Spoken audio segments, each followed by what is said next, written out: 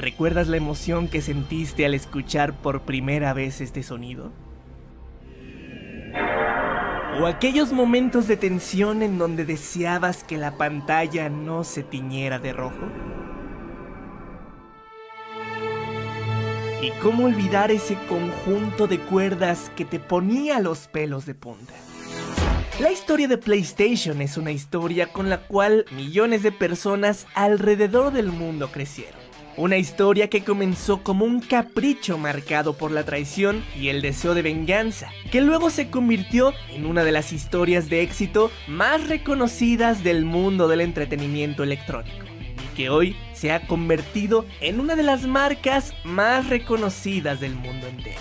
Pero todo tiene un origen y todo tiene una historia. Acompáñame a descubrir la historia de PlayStation.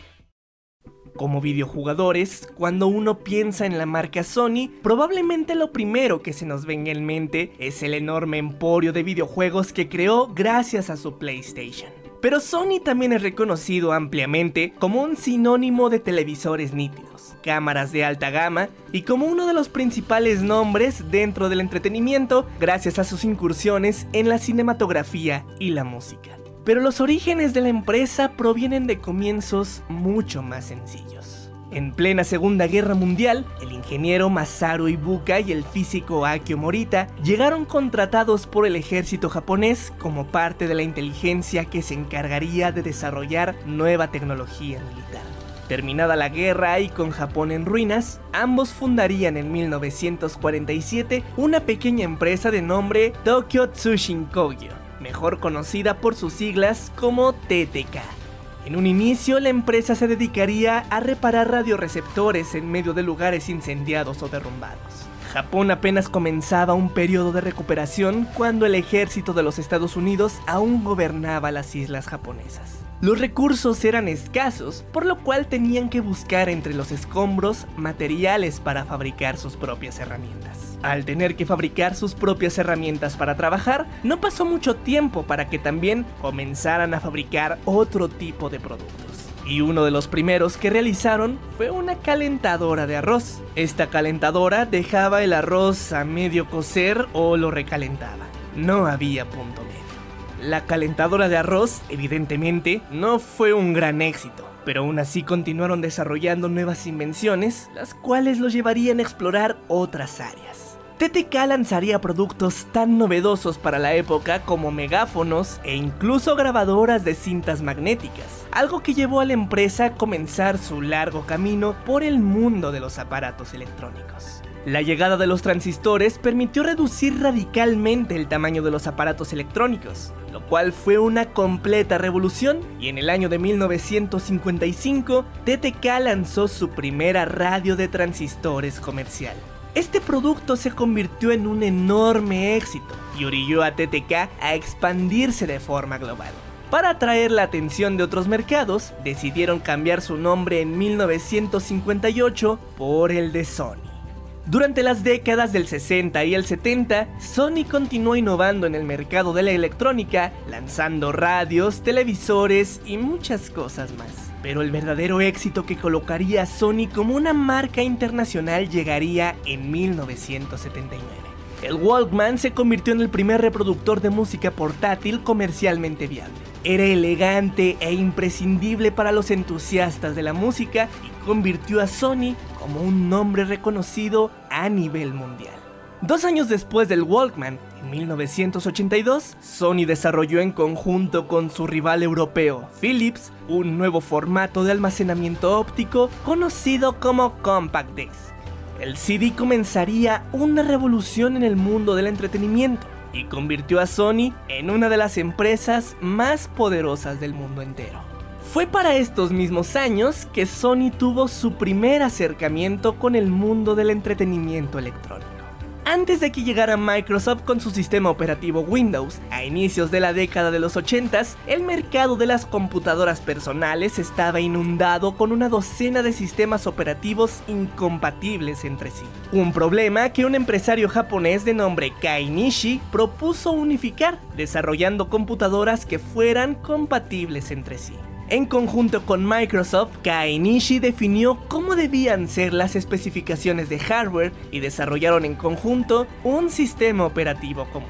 Al proyecto se le conoció como MSX y su objetivo era llegar a las casas como la primera gama de computadoras accesibles para todo público, al precio más bajo posible por lo que estas nuevas computadoras se diseñaron con un especial énfasis en poder ejecutar videojuegos, e incluían dos puertos para conectar joysticks, una o dos ranuras para cartuchos de juegos y un teclado diseñado especialmente para videojuegos.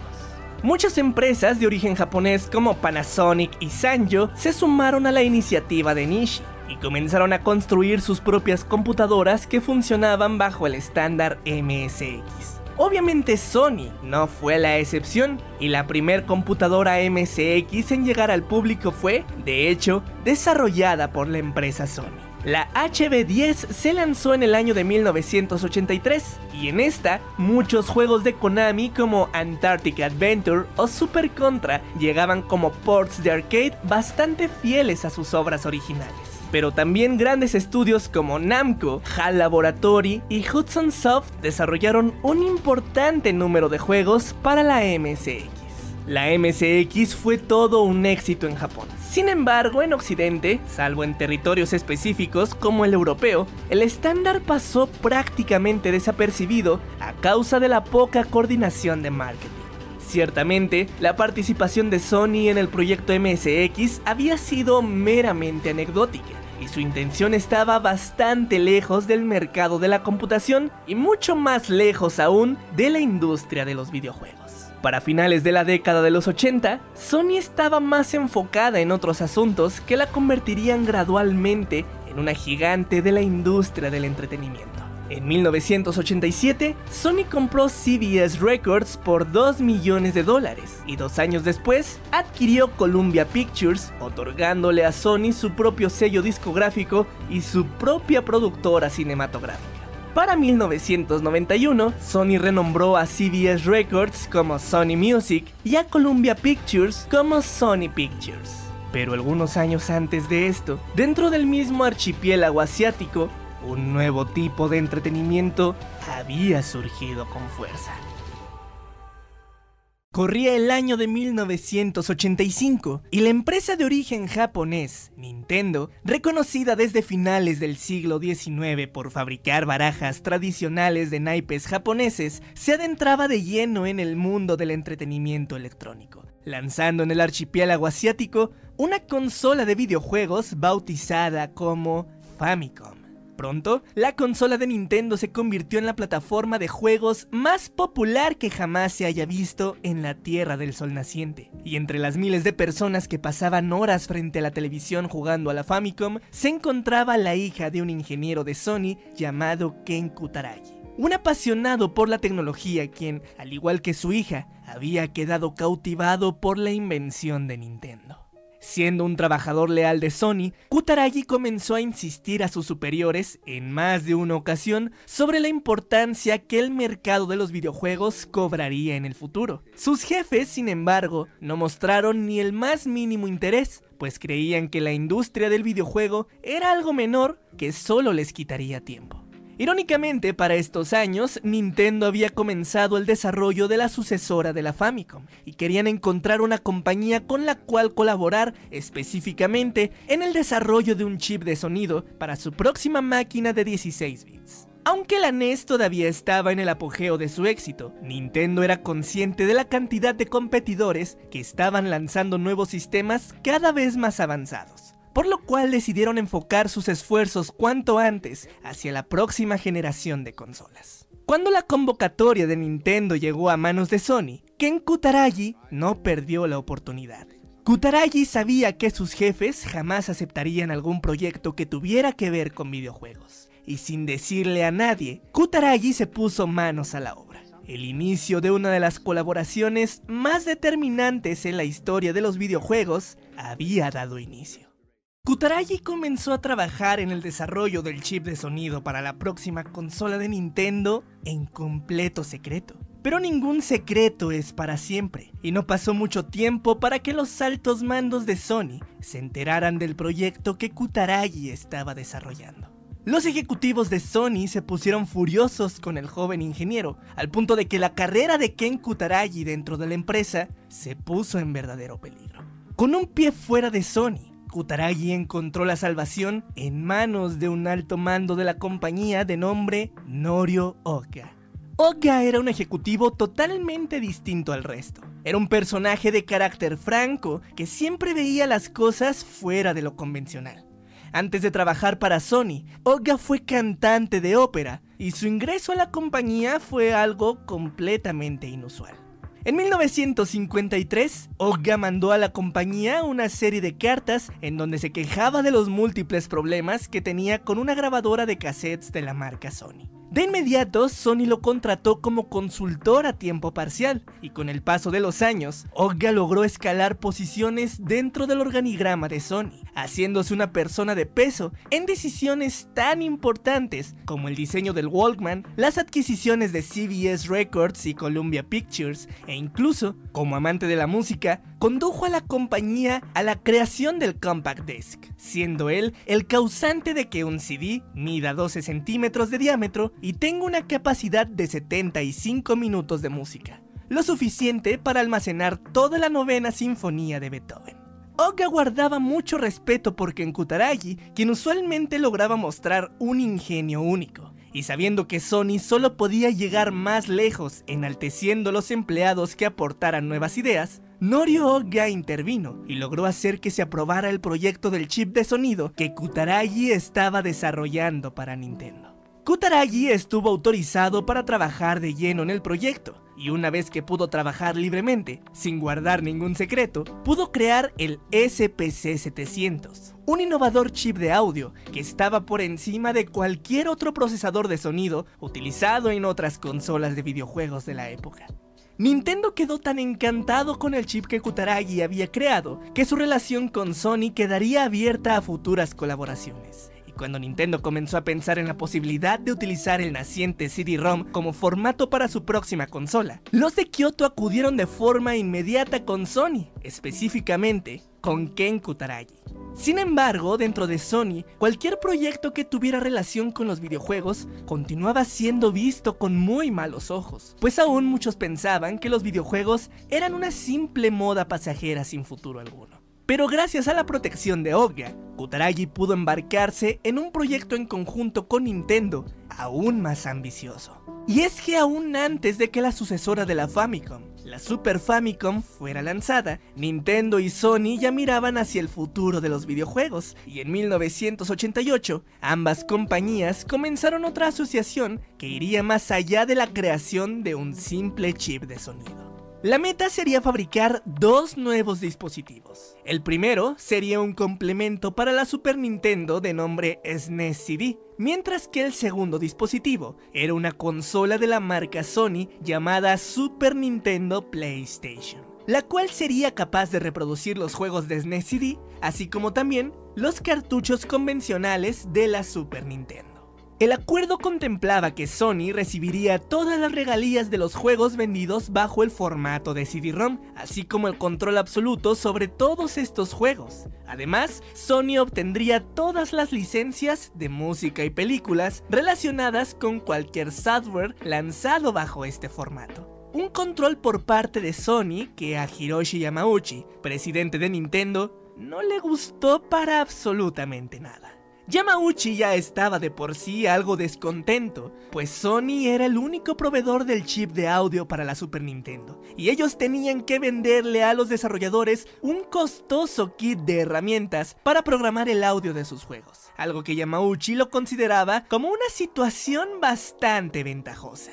Yamauchi inmediatamente encomendó a Minoru Arakawa y a Howard Lincoln, personas que estaban al frente de la división americana de Nintendo, buscar alternativas distintas a su asociación con Sony. Era una mañana de junio del año 1991. Nos encontramos en la edición de verano del Consumer Electronic Show, el CES celebrado en Chicago. Son las 9 de la mañana y la sala principal del evento está completamente repleta.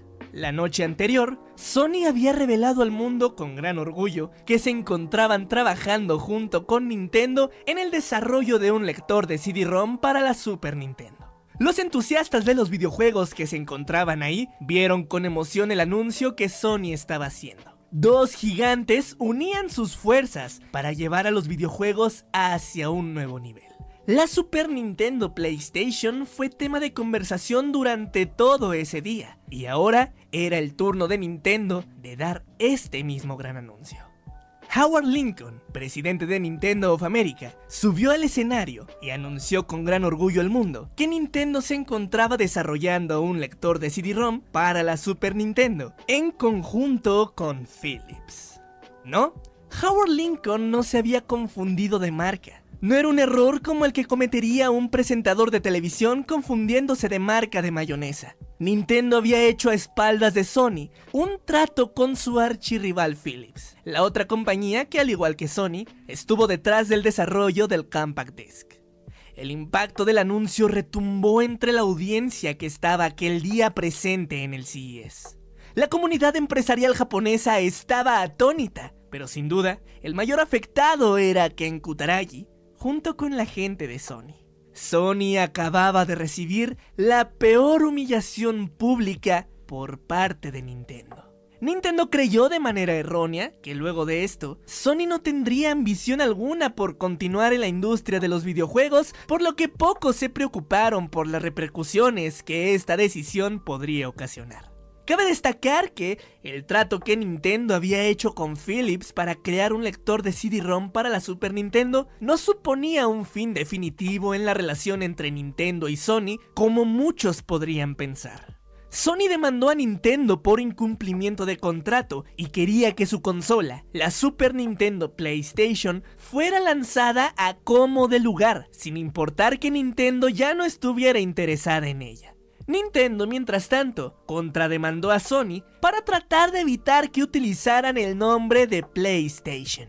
El proceso judicial fue largo, pero al final ambas compañías llegaron a un acuerdo. Sony podría continuar con el desarrollo de su PlayStation, incluyendo la compatibilidad con los cartuchos de la Super Nintendo pero Nintendo tendría control total de las ganancias sobre cada juego vendido para este sistema. Algo que evidentemente no convenía a Sony, pues tradicionalmente las consolas se venden con pérdidas o con márgenes de ganancias bastante pequeños, y es con la venta de juegos que se logra equilibrar la balanza y se amortiguan las pérdidas.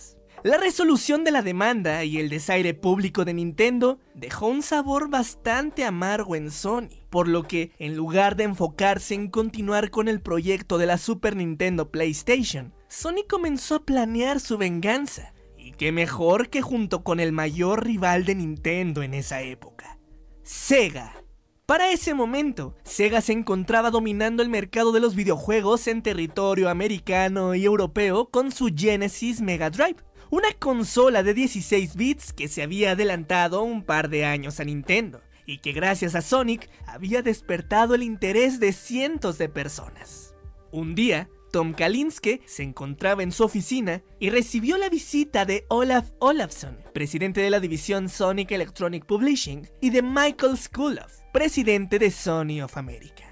En la reunión, los ejecutivos de Sony ofrecieron a Sega poner a su disposición un pequeño estudio de desarrollo ubicado en Santa Mónica, para que Sega los entrenara y se dedicaran a desarrollar videojuegos para el Sega CD, el lector de CD-ROM de la consola de 16 bits de Sega. Tom Kalinske aceptaría el trato, y el pequeño estudio, llamado Sony Imagesoft, comenzaría a trabajar junto con otra empresa de nombre Digital Pictures, quienes portearían una serie de juegos que originalmente fueron desarrollados para una excéntrica consola de videojuegos que utilizaba VHS como formato, de la cual ya te hablamos en otro video que te dejamos por aquí si es que aún no lo has visto.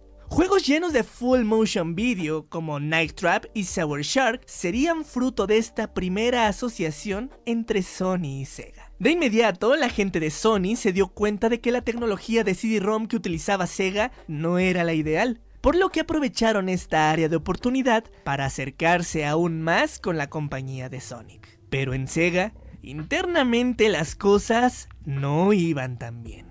El enorme éxito de Sega en continente americano se debió a la increíble dirección que Tom Kalinske le había dado a la compañía alejándose completamente de las costumbres que la matriz ubicada en Japón había impuesto anteriormente a sus productos. La autonomía del equipo de Tom Kalinske permitió ver las cosas desde otra perspectiva. Así que cuando a Kalinske se le presentó el proyecto de la próxima consola de Sega, la Saturn, inmediatamente sus ingenieros se dieron cuenta de que el hardware era un desastre total, difícil de programar, poco viable para mover juegos en 3D y bastante costoso. Kalinske comenzó a buscar alternativas y primero habló con los reyes del CGI en aquel momento. Silicon Graphics, quien ofreció a Kalinske el desarrollo de una arquitectura que se encontraban realizando en ese momento enfocada en consolas de videojuegos.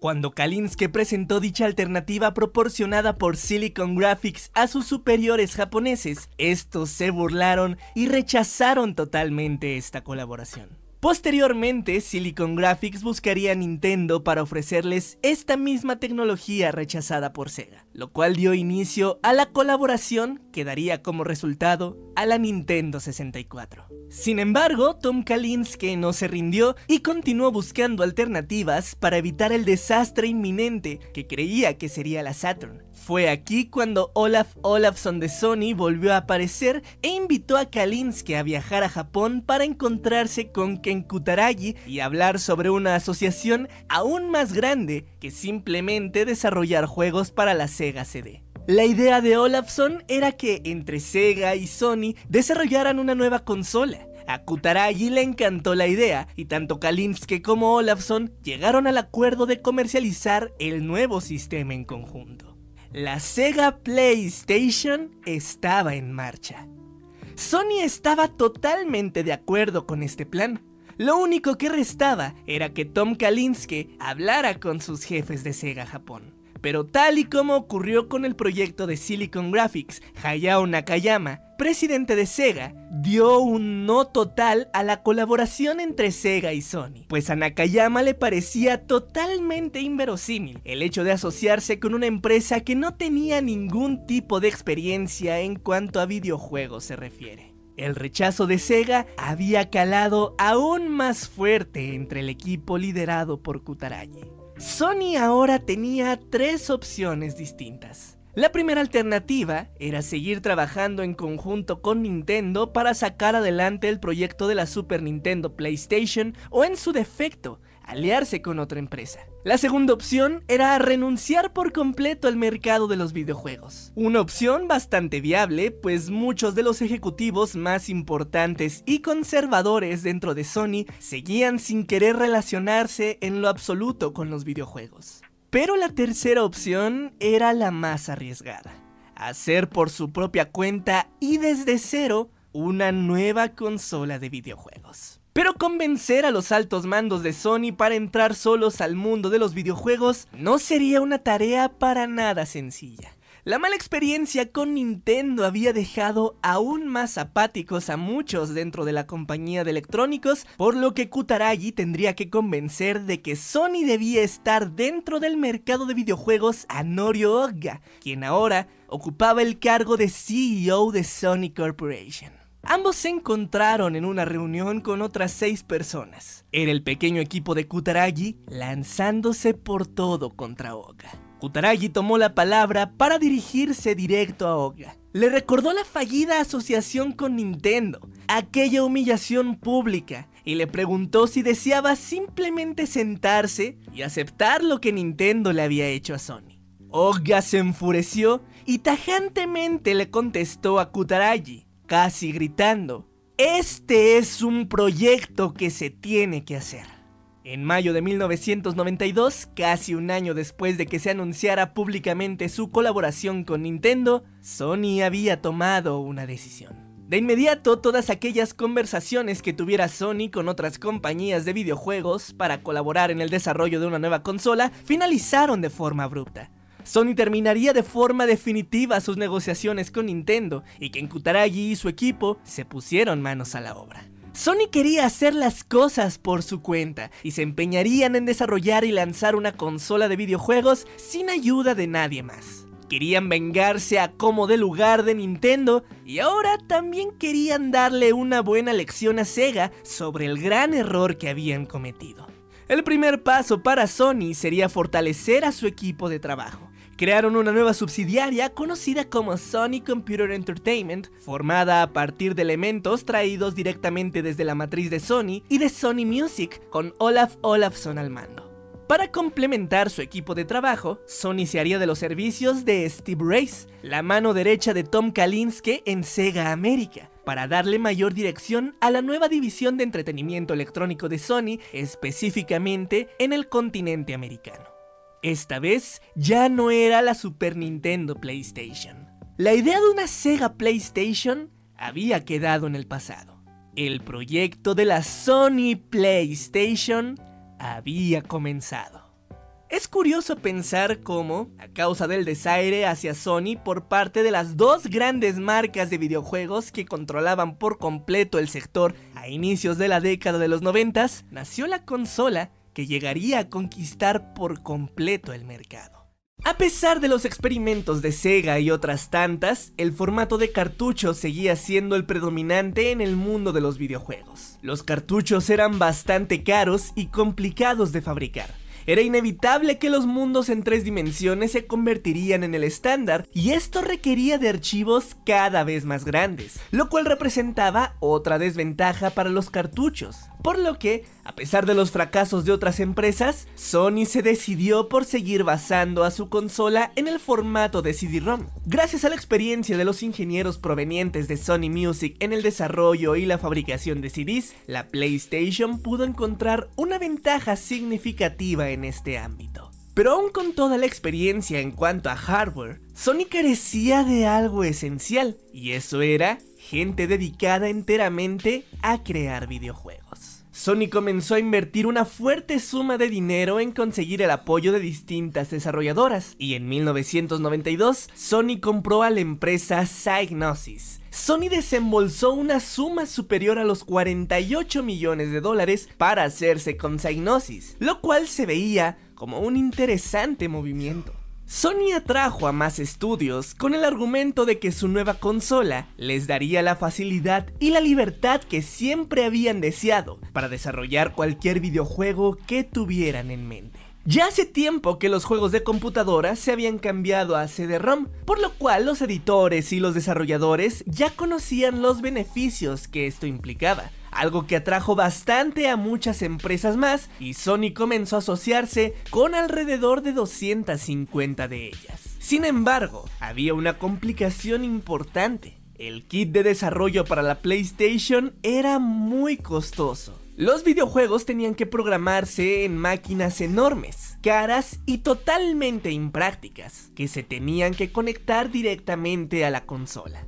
La solución a esta problemática llegaría, de hecho, gracias a Psygnosis, quienes en colaboración con SN Systems desarrollarían un kit de desarrollo mucho más amigable y compatible con PC. Ahora la tarea de programar para la consola de Sony sería más sencillo que nunca y pronto más de 600 de estos kits de desarrollo serían distribuidos. Otro escenario que buscó atacar Sony fue el de los jugadores de arcade. Sony logró que Namco, Konami y otras compañías se sumaran al proyecto, realizando conversiones de sus arcade para la PlayStation. Namco y Sega tenían una rivalidad muy fuerte en el mercado de máquinas recreativas y la alianza entre Namco y Sony era un golpe de intenciones con el objetivo de dejar en ridículo a la próxima Sega Saturn. El 27 de octubre de 1993, Sony anunció finalmente la PlayStation X, dejándole saber al mundo entero que una nueva competidora se apuntaba por el deseo de ganar el trono del mercado de los videojuegos. El aspecto que tenía la nueva consola de Sony era delgado, elegante y gris, en contraste con la principal competidora que tendría de forma inmediata la PlayStation, la Saturn de Sega. En territorio asiático, la Saturn era de color beige, voluminosa y algo tosca. PlayStation presentó un control el cual era básicamente una mejora del clásico control de la Super Nintendo, conservando su configuración de sus cuatro botones principales. Para variar un poco, Sony había decidido dejar atrás las ya clásicas letras y usar formas geométricas simples. Un triángulo verde, un círculo rojo, una cruz azul y un cuadrado rosa.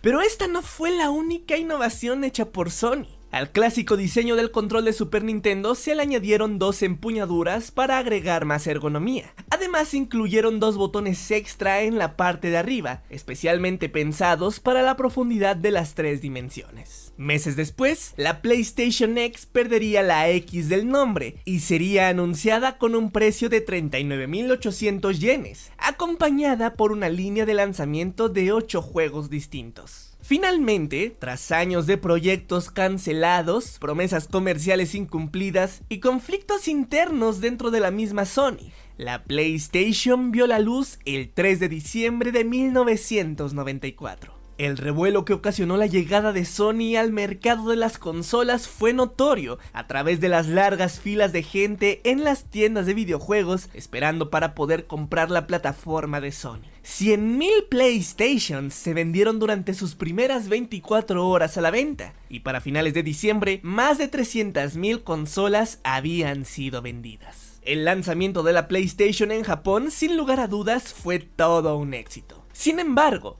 el lanzamiento de Sony fue opacado por la nueva consola de Sega, la Saturn, la cual había sido lanzada el 22 de noviembre, tan solo pocas semanas antes que la plataforma de Sony. Sega logró vender durante las primeras semanas 500.000 Saturns, colocándose por encima de PlayStation y convirtiéndose en líderes momentáneos de la nueva generación de consolas. Un liderazgo que duraría relativamente poco y que jamás podrían recuperar. Luego de lanzar su consola en Japón, el siguiente escenario natural para Sony sería preparar todo para el arribo de la PlayStation en Estados Unidos. Sony estableció una división de Sony Computer Entertainment en el país americano justo en el corazón de Silicon Valley, donde Steve Ray se estableció y comenzó a sumar a más desarrolladores externos al proyecto. Pronto más de 100 licencias de juegos se habían conseguido para Estados Unidos y otras 270 más en Japón.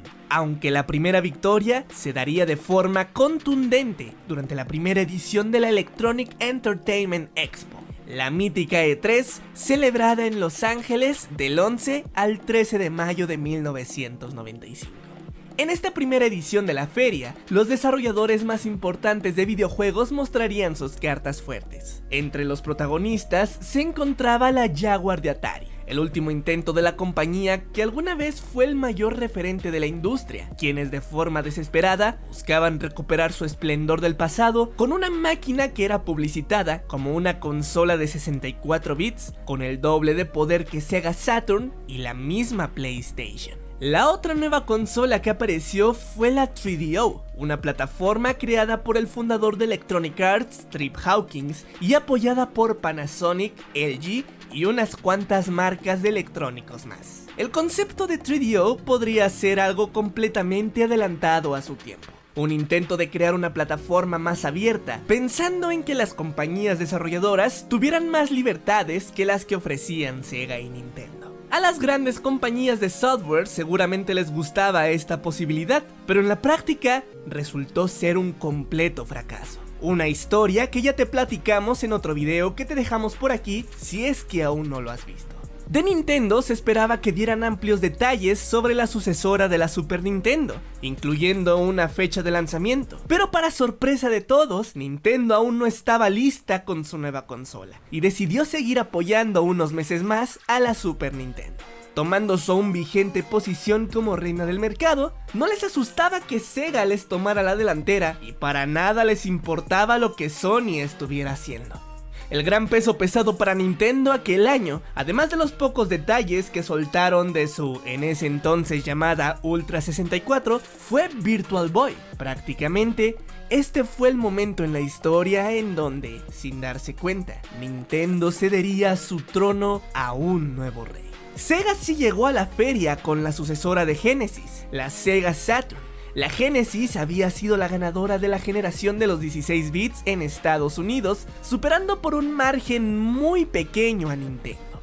Días antes de que comenzara la E3, Sega ya había anunciado que su nueva consola sería lanzada durante septiembre de 1995. Tom Kalinske subió al escenario para dar su conferencia de prensa y después de hablar sobre las capacidades de la Saturn y algunas diapositivas más enfocadas a los empresarios y accionistas presentes en la conferencia, Tom Kalinske soltó la bomba. La consola no sería lanzada en septiembre como se había anunciado en un inicio sino que su lanzamiento ocurriría en ese preciso momento, a un precio de 399 dólares con 6 juegos de lanzamiento para elegir.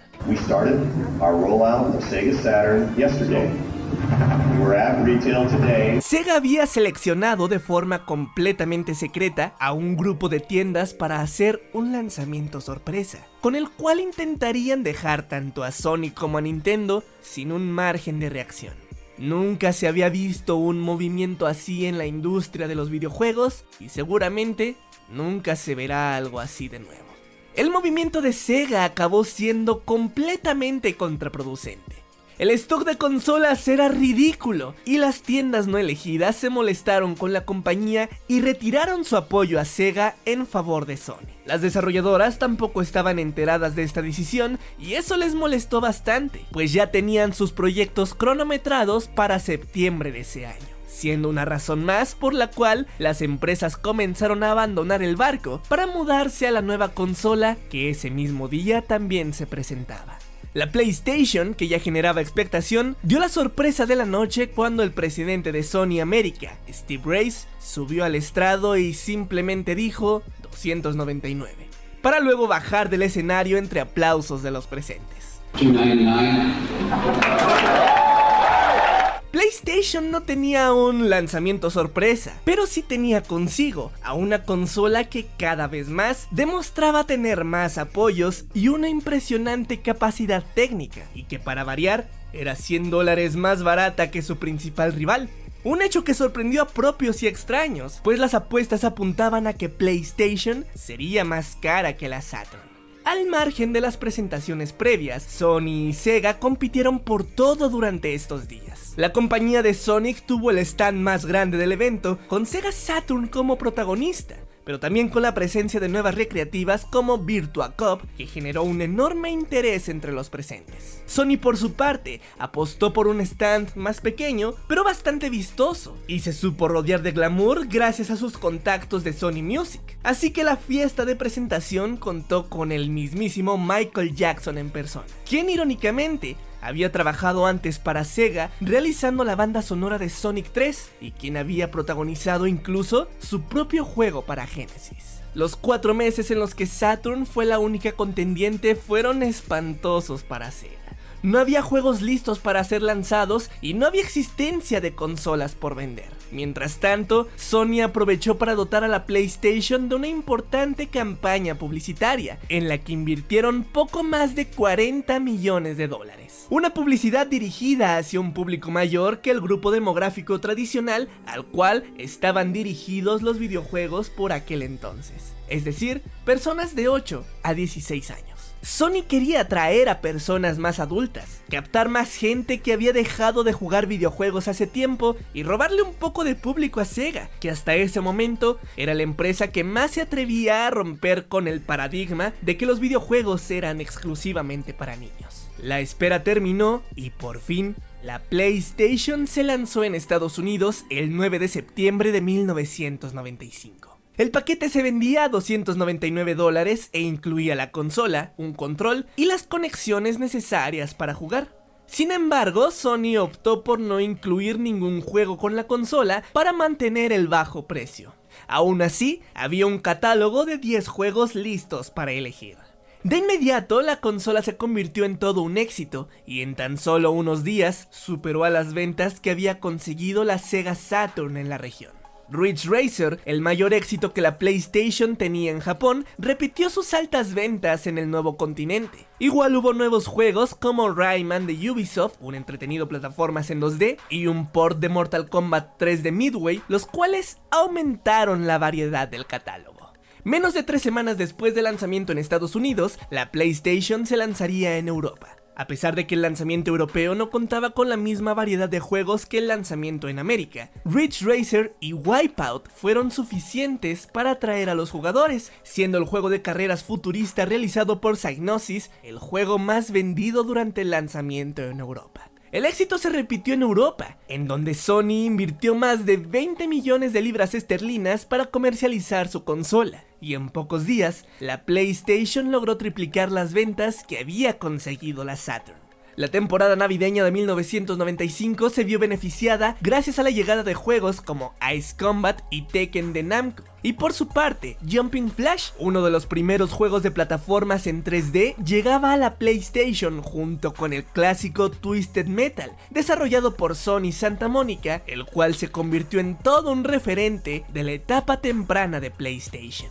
La PlayStation había dado un knockout a Sega, pero ahora sería el turno de enfrentarse contra su antiguo socio comercial, Nintendo. La compañía que había creado el monstruo que ahora parecía imparable estaba lista para lanzar su nueva consola a mediados de 1996 para sumarse a la revolución de los nuevos mundos en 3D.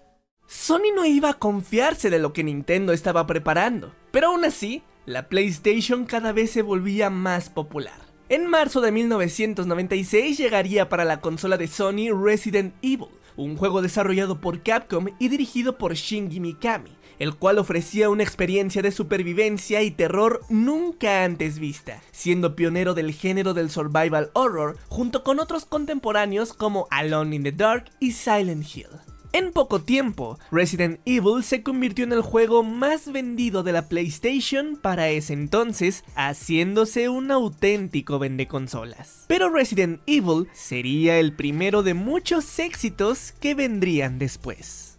En mayo de 1996 llegó la segunda edición de la E3.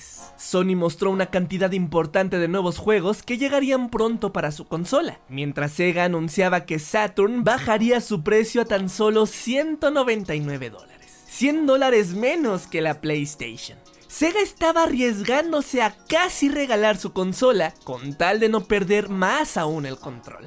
Pero el recorte de poco sirvió pues Sony de inmediato igualó el precio de la Saturn y comenzó a vender su PlayStation a 199 dólares. Nintendo también se sumó a los recortes incluso antes de lanzar su consola, la cual tenían planeada lanzar a 250 dólares. Pero ahora Nintendo se unía a esta guerra de precios lanzando la Nintendo 64 de igual forma por 199 dólares. La segunda mitad de 1996 se destacó por el lanzamiento de múltiples juegos exitosos. Psygnosis, la empresa británica que Sony había adquirido años atrás, se había convertido en una de las principales desarrolladoras de la PlayStation, lanzando importantes juegos como Lemmings 3D, una versión actualizada de su popular juego Lemmings y una secuela de Wipeout llamada Wipeout 2097. Secuelas de otros juegos populares como Tekken y Twisted Metal arribaron durante este año. Tekken 2 fue más popular incluso que la primera parte, y Twisted Metal 2 recibió la bendición de David Jaffe, director del juego, quien años más tarde crearía una de las obras más representativas de PlayStation. Para noviembre de 1996, PlayStation recibió un nuevo juego de nombre Tomb Raider, y su popularidad eclipsó rápidamente a otros juegos. Desarrollado por la gente de Core Design y publicado por Eidos Interactive, Tomb Raider no llamó mucho la atención durante su desarrollo hasta que se mostró en la E3 de 1996. Los asombrosos gráficos y la divertida jugabilidad del juego fueron suficientes para atraer la atención del público, pero fue la protagonista del juego, Lara Croft, la que llamó la atención de todos. Para ese entonces, los personajes femeninos de videojuegos eran escasas. La mayoría se ocultaban dentro de una armadura, eran figuras animadas o cumplían con el clásico estereotipo de damisela en apuros. Lara Croft cambió esto por completo, siendo un personaje femenino completamente desarrollado, con un aspecto aventurero y atractivo. Durante los próximos meses, Lara Croft se convertiría en uno de los nombres más importantes de la industria y Tomb Raider se convertiría en el séptimo juego más vendido para la PlayStation.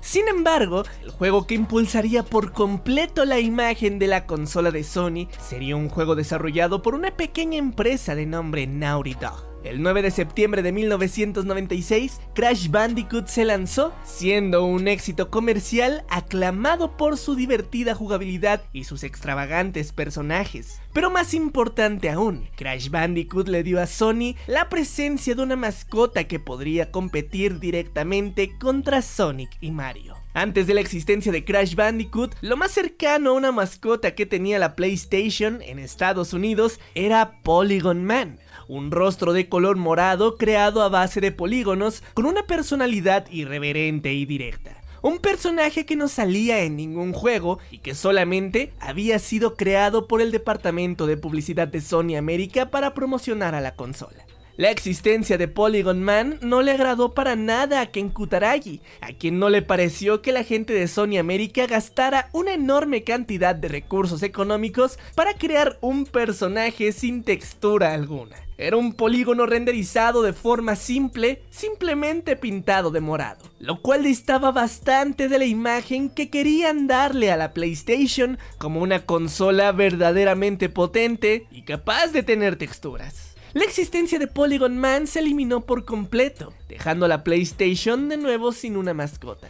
No era como que necesitaran una realmente, pero PlayStation carecía de una figura que fuera la cara de la consola.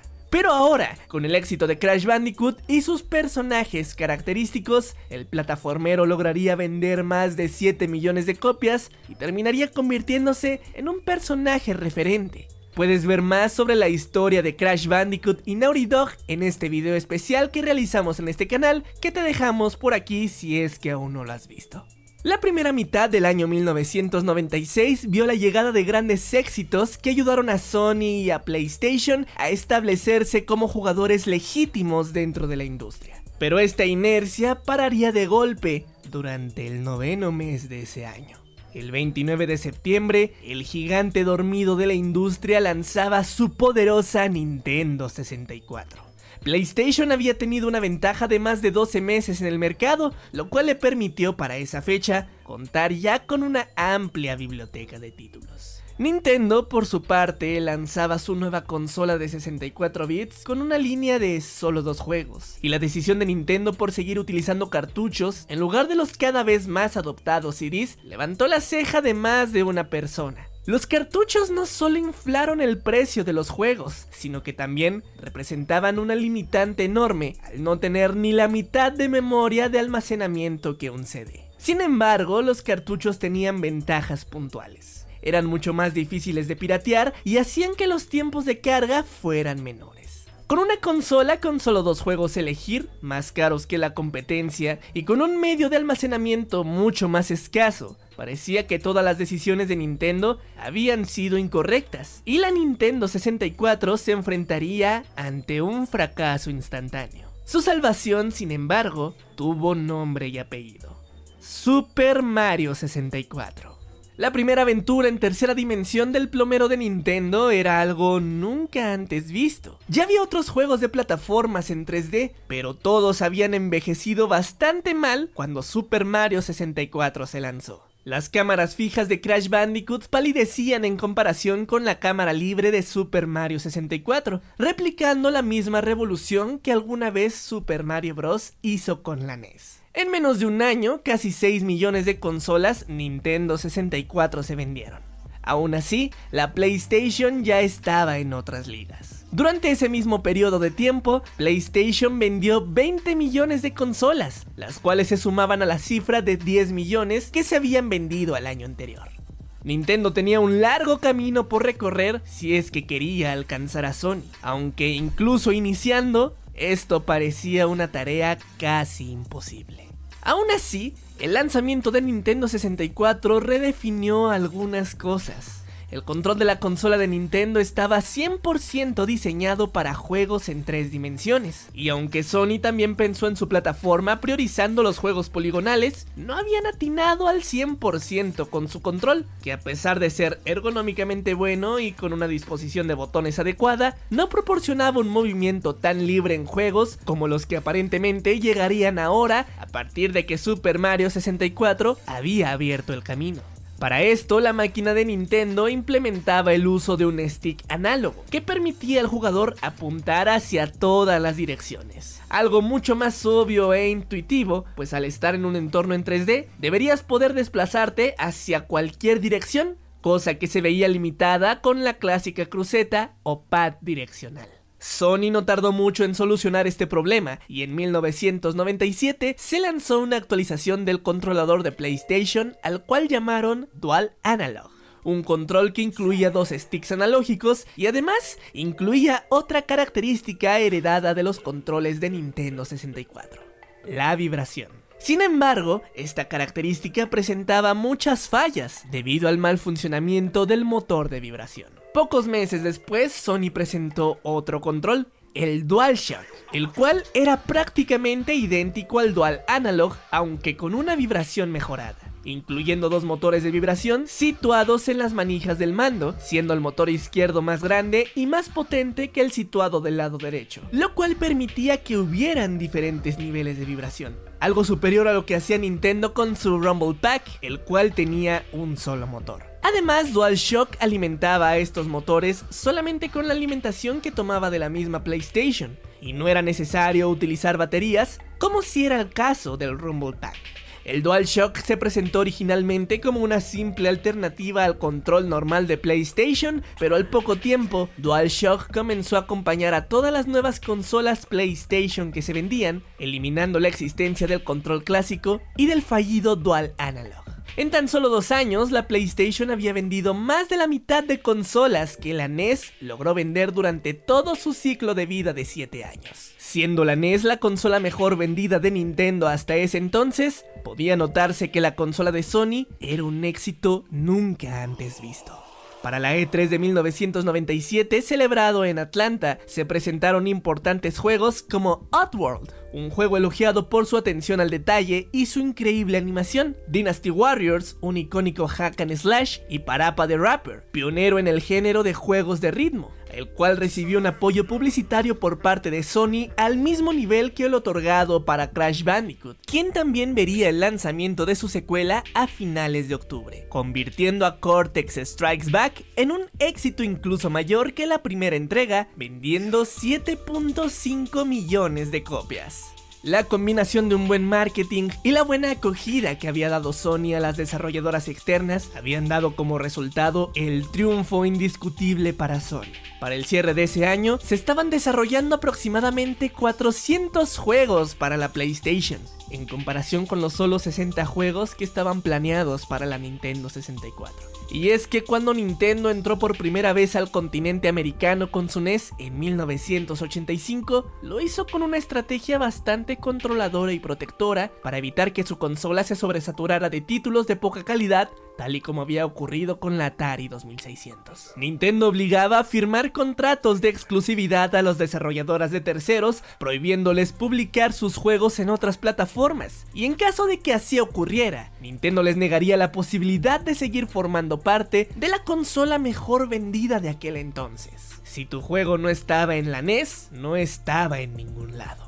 A medida que el mercado crecía, Sega logró romper con esta hegemonía y para la Genesis, muchas franquicias comenzaron a aparecer en ambas plataformas. Pero aún así, muchas compañías se mantenían fieles a Nintendo y mantuvieron a muchas de sus franquicias como exclusivas de las plataformas de la compañía de Kyoto. Pero para el año de 1997, esta fidelidad hacia Nintendo ya no pudo escapar al impacto de la PlayStation. Capcom, una compañía que había mantenido a su saga Mega Man como un juego fiel a Nintendo, llegaba con Mega Man 8 a la consola de Sony. Y posteriormente, la serie Mega Man X, hasta ese momento exclusiva de Super Nintendo, llegaba de forma exclusiva para la PlayStation. Nintendo 64 no recibiría un juego de Mega Man hasta 4 años más tarde, con el lanzamiento de Mega Man 64 un port de un juego de PlayStation. Otra importante franquicia que había sido exclusiva de Nintendo y se pasaba a Sony fue Castlevania, con su juego Symphony of the Night,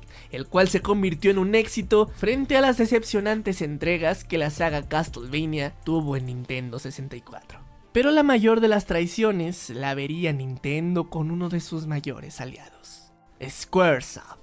Square había otorgado una buena cantidad de juegos de éxito para la NES original y la Super Nintendo, principalmente en territorio japonés, y la saga Final Fantasy se convirtió en todo un referente del género de los RPG. La relación entre Squaresoft y Nintendo llegó a tal punto que Nintendo prestó los personajes de Super Mario para que Square los utilizara en su propio RPG, permitiendo a Squaresoft diseñar nuevos personajes y una historia fuera de lo común, algo que Nintendo no permitía a nadie más. Con el cambio generacional, Squaresoft comenzó a trabajar en una nueva entrega de Final Fantasy y pronto comenzó a publicar algunas imágenes de la serie con gráficos realizados para la Nintendo 64 aunque cabe aclarar que nunca se especificó si este era precisamente la séptima entrega de la serie. Internamente la situación de Final Fantasy VII era complicada. Squaresoft tenía un enorme problema con la Nintendo 64, y ese era el tamaño de los cartuchos. El nuevo Final Fantasy se estaba convirtiendo en un juego cada vez más grande, tanto que era imposible meterlo en un cartucho. Square no se quería limitar por este obstáculo y pronto comenzaron a buscar alternativas. Sony vio la oportunidad y la aprovechó al máximo acercándose a Square, ofreciéndoles desarrollar su juego para la PlayStation. Fue el 31 de enero de 1997 cuando Final Fantasy VII fue lanzado en Japón de forma exclusiva para la PlayStation y de inmediato se convirtió en uno de los mejores juegos que Sony pudo tener en su consola. El juego llegaría posteriormente, el mes de septiembre al continente americano y el mes de noviembre Europa. De inmediato, Sony armó una campaña publicitaria para el lanzamiento. 20 millones de dólares se invirtieron para promocionar el juego tan solo en Estados Unidos, bombardeando con comerciales en el horario prime time de la televisión americana, algo que nunca había ocurrido antes en la industria del videojuego. Esta campaña de marketing logró que Final Fantasy se convirtiera en uno de los nombres más conocidos dentro del mundo de los videojuegos. Pero no solo eso, también convirtió a los juegos de rol de origen japonés en un género importante fuera de su país de origen. En todos los rincones del mundo, Final Fantasy VII fue todo un fenómeno. 10 millones de copias se vendieron, convirtiéndose en el segundo juego más vendido de la consola, en donde a través de sus tres discos se estableció un nuevo estándar en cuanto a narrativa de videojuegos se refiere. Pero el juego más vendido de la PlayStation aún estaba por ser lanzado. A finales de 1997, Gran Turismo de Polyphony Digital se abrió camino en América y Europa gracias a sus gráficos impecables, su divertida jugabilidad y el atractivo casi universal tienen los juegos de carreras. El juego se convirtió en todo un éxito y ayudó a vender de mejor forma las ventajas del nuevo DualShock. 11 millones de juegos se vendieron. 1997 resultó ser un año monumental para la PlayStation con títulos que cada vez más explotaban los límites técnicos y creativos de la consola. El surgimiento de la marca PlayStation marcó una nueva era para Sony. Y como si de un epílogo se tratara, a finales de 1997, el 19 de diciembre, Masaru Ibuka, fundador de Sony, falleció a la edad de 89 años, pudiendo observar cómo lo que alguna vez fue su pequeña empresa de electrónicos se convirtió en uno de los gigantes del entretenimiento. No había duda ya a estas alturas. El ganador de la quinta generación de consolas era, por mucho, PlayStation. Sony ahora ocupaba el trono que alguna vez le perteneció a Atari con su Atari 2600, a Nintendo con su NES y a Sega con su Genesis. Era el turno de Sony de brillar como el principal referente de los videojuegos. Pero a diferencia de las anteriores ganadoras, el éxito de PlayStation parecía no solo limitarse a superar a sus rivales, ahora la meta era llegar al cielo, llegar a vender 100 millones de consolas. Cuando llegó la E3 de 1998, Sony tiró la casa por la ventana, y aunque la próxima generación de consolas era a estas alturas inevitable, Sony aprovechó cada momento para seguir anunciando títulos importantes, e incluso para invitar a los Foo Fighters a su fiesta. Sega sabía que no había oportunidad y esa misma E3 anunciaron que la Saturn sería desechada en favor de una nueva consola de nueva generación. Mientras tanto, Nintendo aprovechaba el éxito de Pokémon, lanzando Pokémon Rojo y Azul y el increíble The Legend of Zelda Ocarina of Time. Incluso juegos de renombre para PC fueron anunciados este año como Half-Life de Valve. Aún así, Sony se mantuvo con importantes lanzamientos como Parasite Eve, un juego de rol con temática de terror desarrollado por Square, marcando un hito para la compañía que se alejaba por primera vez de sus clásicas historias de fantasía. Además, Spyro the Dragon se lanzaba como fruto de una alianza entre Sony y Universal, la cual antes ya le había dado el gran éxito de Crash Bandicoot. Spyro fue un título comercializado para un público mucho más infantil, atacando al target que Nintendo aún dominaba. Pero sin lugar a dudas, el mayor juego que recibió la PlayStation este año fue la obra de Hideo Kojima, Metal Gear Solid. Un juego que llamó la atención por su narración cinematográfica, impresionantes imágenes y una jugabilidad simple pero refinada. Cinco años habían pasado ya desde que la PlayStation había sido lanzada y la llegada de nuevo hardware, mucho más potente, estaba a la vuelta de la esquina. Llegando el año de 1999, Sega lanzó su Dreamcast, iniciando de esta forma la nueva generación de consolas, y con esta, los últimos días de vida de la PlayStation original. Al final, la PlayStation llegó a la cifra de 100 millones de consolas vendidas, convirtiéndose en la primera consola en la historia en superar dicho número. La libertad creativa que se experimentó en estos años fue algo sin igual. Muchas de las series más queridas de los videojuegos actualmente tuvieron su origen aquí, en una pequeña consola que nació producto de un polémico divorcio, que como todas historias, tiene sus distintas versiones, pero que al final todas llevaron al mismo resultado, la coronación de Sony como nuevo monarca de los videojuegos. La producción de la segunda generación de PlayStation comenzó inmediatamente tras el lanzamiento de la primera PlayStation en el año de 1994. Aunque para ese momento, para Sony era más importante mantener el enfoque en la PlayStation 1 e impulsar sus ventas, Ken Kutaragi no perdió ni un solo minuto y desde el inicio comenzó a idear cuál sería el siguiente paso. Sony quería lo mejor de lo mejor para su siguiente plataforma, por lo que, además de poner a trabajar a su equipo de desarrollo de hardware interno, decidió lanzar una convocatoria en secreto, invitando a varios fabricantes a desarrollar nuevos procesadores para su nueva consola. Entre la lista de propuestas aparecía la empresa LCI Logic, creadores del procesador de la primera PlayStation. Para esos años, LSI acababa de comprar un importante porcentaje de participación en una empresa de nombre Argonaut Software. En el pasado, Argonaut había logrado llamar la atención de Nintendo luego de que estos fueran capaces de romper con la seguridad de la Game Boy original. Su habilidad para desarrollar hardware dio origen a una colaboración entre Nintendo y Argonaut que daría como resultado la fabricación del popular chip Super FX. Un revolucionario chip que permitiría a la Super Nintendo desplegar gráficos poligonales y que fue utilizado en juegos como Star Fox. El chip Super FX era tan poderoso que la misma gente de Argonaut se burlaba diciendo que la Super Nintendo solo funcionaba para darle corriente eléctrica al chip que ellos habían desarrollado, el cual prácticamente hacía todo el trabajo.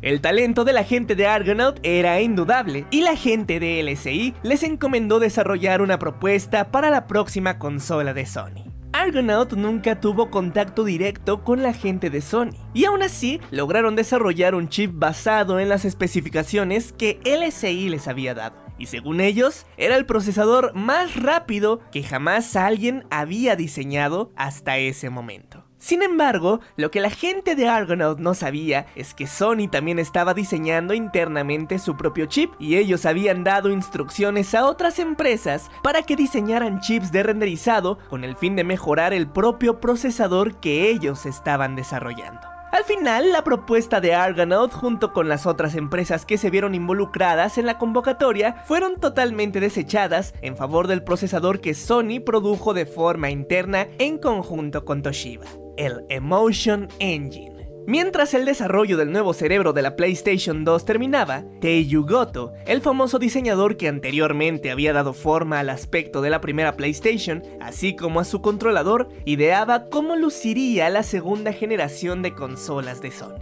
La PlayStation original había sido diseñada para ser lo más sencilla posible, pero en esta ocasión, la PlayStation 2 tendría todo lo contrario en mente. Un diseño negro, monolítico, casi intimidante y bastante intrigante. Una pieza de hardware que lucía misteriosa, como si proviniera de otro mundo, que recordaba a la inmensidad del espacio y en donde hasta encender la consola se sentía como teletransportarse a otra dimensión. El desarrollo de hardware y software trabajaba en conjunto para crear una experiencia armónica, por lo que la pantalla de inicio de la PlayStation 2 inspiró la cara de la consola. A Goto le parecía una experiencia completamente surrealista y quería que la consola reflejara esa misma sensación.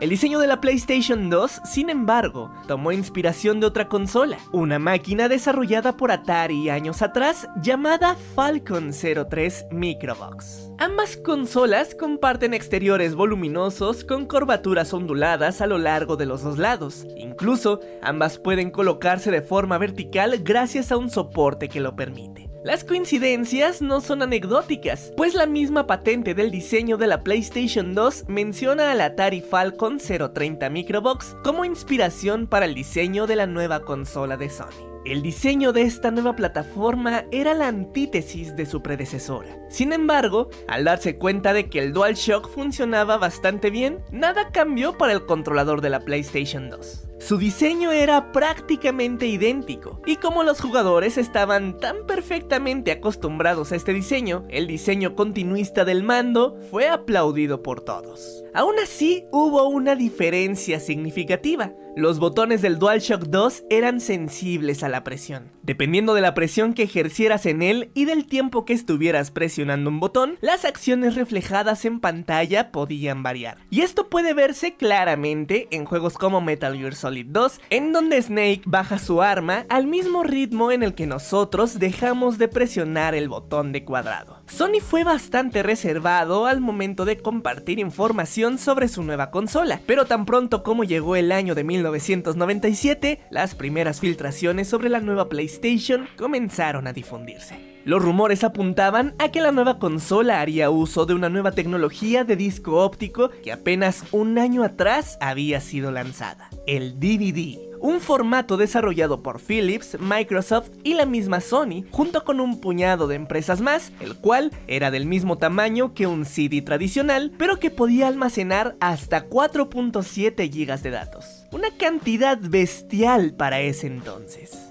Las noticias también mencionaban que la consola estaba pensada para poder conectarse a internet y que sería retrocompatible con la primera PlayStation. Ningún rumor sería confirmado hasta que en mayo de 1998, Yuji Horii, creador de la serie Dragon Quest, confirmó a la revista B-Jump que una nueva consola de Sony venía en camino. Pero fue hasta el 2 de marzo del año 1999 cuando Sony finalmente anunció de forma oficial la existencia de la PlayStation 2 al contrario de lo que ocurrió con la modesta presentación de su primera consola. En esta ocasión, Sony hizo una lujosa reunión en el Foro Internacional de Tokio, en donde más de 1500 periodistas se congregaron para presenciar la nueva consola de Sony. El momento más emotivo de la presentación fue cuando el presidente de Sony, Norio Ogga, subió al escenario para hablar sobre lo orgulloso que se sentía al haber permitido unir el nombre de Sony a la marca PlayStation. El discurso habló sobre lo lejos que había llegado la PlayStation desde sus primeros días, en donde salvo un pequeño puñado de personas dentro de Sony, nadie más tenía fe en el proyecto.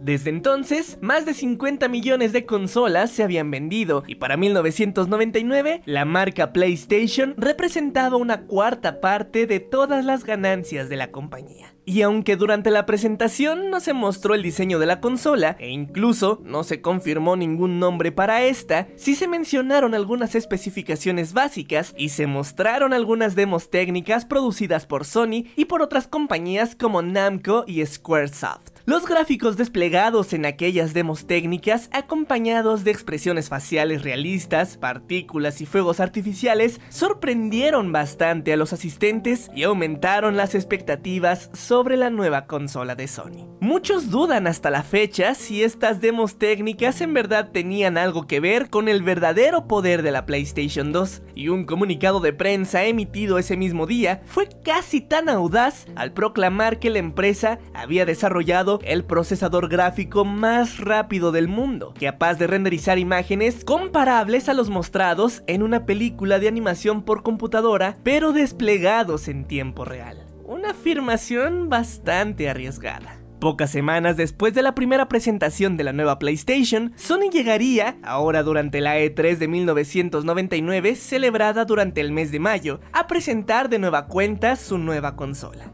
La presentación fue prácticamente idéntica a la celebrada en Tokio días antes y no aportó muchos datos nuevos. Sería hasta el 20 de septiembre de 1999 cuando Sony revelaría al mundo el aspecto de la PlayStation 2 durante la Tokyo Game Show, en donde de igual forma presentaron los primeros juegos de la consola, siendo Gran Turismo 2000 y Tekken Tag Tournament los juegos que se robaron todos los reflectores. Pero Sony no había sido la primera compañía en dar el salto a la nueva generación. Sega se había adelantado a todos en lanzar una nueva consola luego del enorme descalabro que habían sufrido con la Sega Saturn. Para 1997, Sega ya había desahuciado a Saturn y se enfocó plenamente en lo que un año después finalmente conoceríamos como Sega Dreamcast, una consola que vio una mejora bastante considerable en comparación con su antecesora en términos de hardware y software. Muchas compañías estaban sumando a la nueva plataforma de Sega, la cual sería la primera consola que proporcionaría acceso a internet de forma nativa y relativamente sencilla, con todo y soporte multijugador en línea incluido. Toda una revolución para aquel entonces. Pero la Dreamcast no parecía mejorar la imagen de la empresa, al menos en Japón, territorio en donde Sega realmente nunca había logrado tener un mayor éxito. La confianza en la marca estaba en tela de juicio y muchos propietarios de Saturn se sentían totalmente decepcionados. Sin embargo, a la Dreamcast le fue bien durante su lanzamiento, el 27 de noviembre de 1998 en Japón y el 9 de septiembre de 1999, Sega repitió la hazaña en Estados Unidos. Una fuerte línea de juegos de lanzamiento, en donde figuraba el regreso triunfal de Sonic, ahora en un entorno tridimensional, le había dado un poderoso sprint a una Sega que estaba colgando de la cuerda floja. Sin embargo, el anuncio de la nueva PlayStation comenzó a robarle reflectores a la Dreamcast. La PlayStation 2 no solo lucía prometedora por su avance tecnológico en cuanto a gráficos, sino también representaba un enorme avance gracias a la utilización de la tecnología de DVD, un formato que para 1999 aún vivía sus primeros años y todavía era bastante superado por el formato de VHS. El lanzamiento de la PlayStation 2 representaba la opción más económica para hacerse con un reproductor de DVDs, algo que llamó la atención de todo mundo, así como también ocurrió con la opción de retrocompatibilidad. La posibilidad de tener disponible desde el día 1 toda la biblioteca de juegos de la primera PlayStation no eran palabras menores y significó un enorme acierto.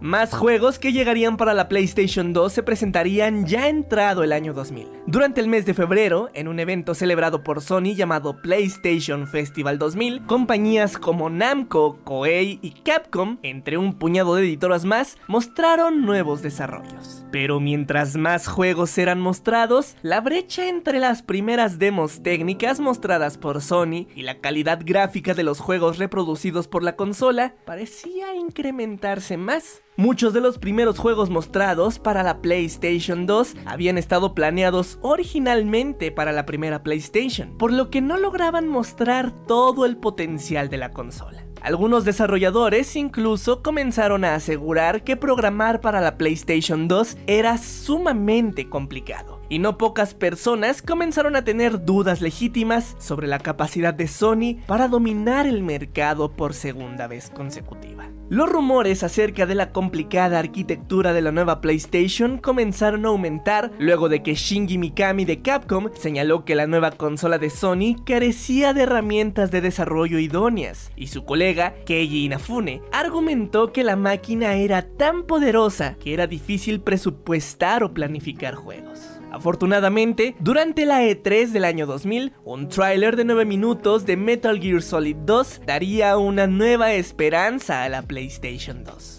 En el adelanto se podían observar cómo las gotas de lluvia salpicaban la ropa de los personajes, las físicas cuando una botella se rompía y cómo se esparcían los casquillos de las armas. Pero aún con toda esta polémica, la PlayStation 2 comenzaba a ser todo un fenómeno incluso antes de ser lanzada. El 28 de febrero del 2000, la nueva PlayStation 2 sería la portada de la importante revista Newsweek. Era todo un hito para la industria de los videojuegos que un medio tan serio y prestigiado como Newsweek se tomara tan en serio el lanzamiento de una consola de videojuegos al grado que decidiera que esa fuera su portada. A pesar de las dudas, el entusiasmo no se perdió y finalmente, tras 6 años de desarrollo, el 4 de marzo del año 2000, la PlayStation 2 fue lanzada en Japón. Muchas tiendas decidieron hacer ventas por anticipado y otras decidieron abrir sus puertas desde temprano y vender las consolas según las personas estuvieran formadas en las largas filas que se podían observar por todo Akihabara. Toda la existencia de consolas se agotó durante el primer día de su lanzamiento. Sony tenía menos de un millón de unidades listas para ser vendidas durante su lanzamiento, pero las cifras afirman que, de haber tenido 3 millones de unidades listas, de cualquier forma se hubieran agotado durante las primeras horas. Gente de todo el mundo acampó durante muchos días afuera de las tiendas con la esperanza de llevarse una PlayStation 2, e historias bastante oscuras de este lanzamiento se cuentan, como el caso de un niño decepcionado por no haber obtenido una nueva consola, quien decidió saltar desde lo alto de un edificio en Akihabara para terminar con su vida.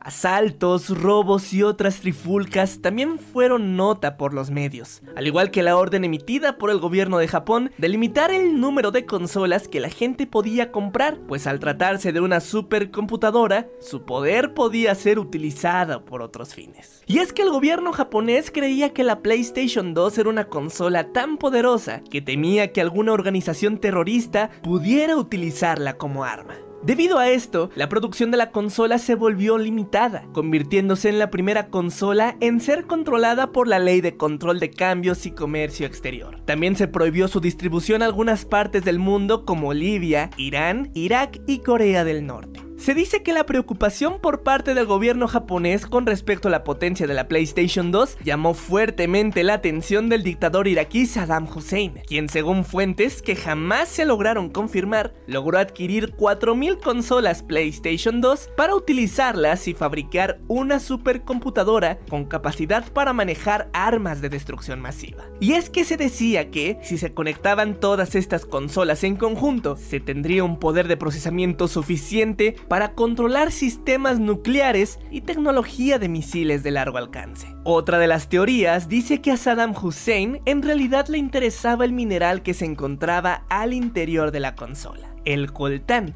también conocido como oro gris, el cual tiene un precio en el mercado negro muy superior al del oro. Y aunque nadie ha podido demostrar si es cierta o no esta leyenda, sin duda es una prueba de las altas expectativas que se tenían en torno al poder de la PlayStation 2.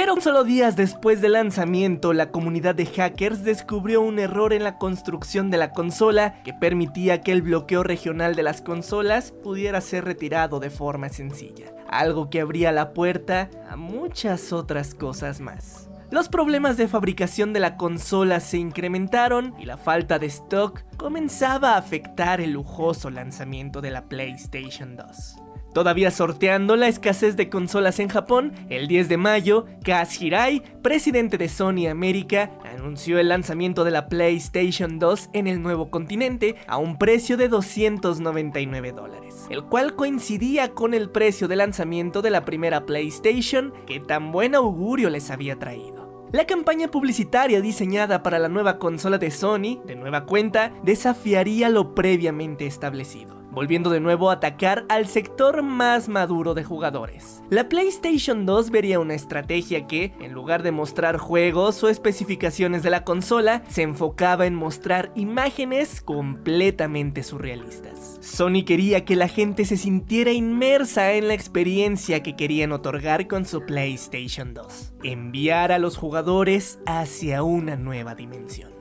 Y para lograr este cometido, Sony contrató a nada menos que el famoso director de cine David Lynch. El diseño de las consolas sería ligeramente modificado para la versión americana, agregando más espacio dentro de la carcasa para un disco duro y un modem para conexión a internet. Pero más importante aún, tenía una GPU ligeramente distinta a la de la versión japonesa, y la fabricación de esta pieza sería otro dolor de cabeza para Sony, algo que ocasionó que de un millón de consolas que serían exportadas originalmente a Estados Unidos, la cantidad sería reducida a solo 500.000 consolas. Aunque Kaz Hirai se comprometió a resurtir semanalmente 100.000 unidades nuevas. La escasez de inventario que tenía la PlayStation 2 ciertamente le dio a Sega un último respiro, y se esforzarían en aprovechar este punto débil para tratar de hacer que la Dreamcast vendiera 3 millones de consolas y con esto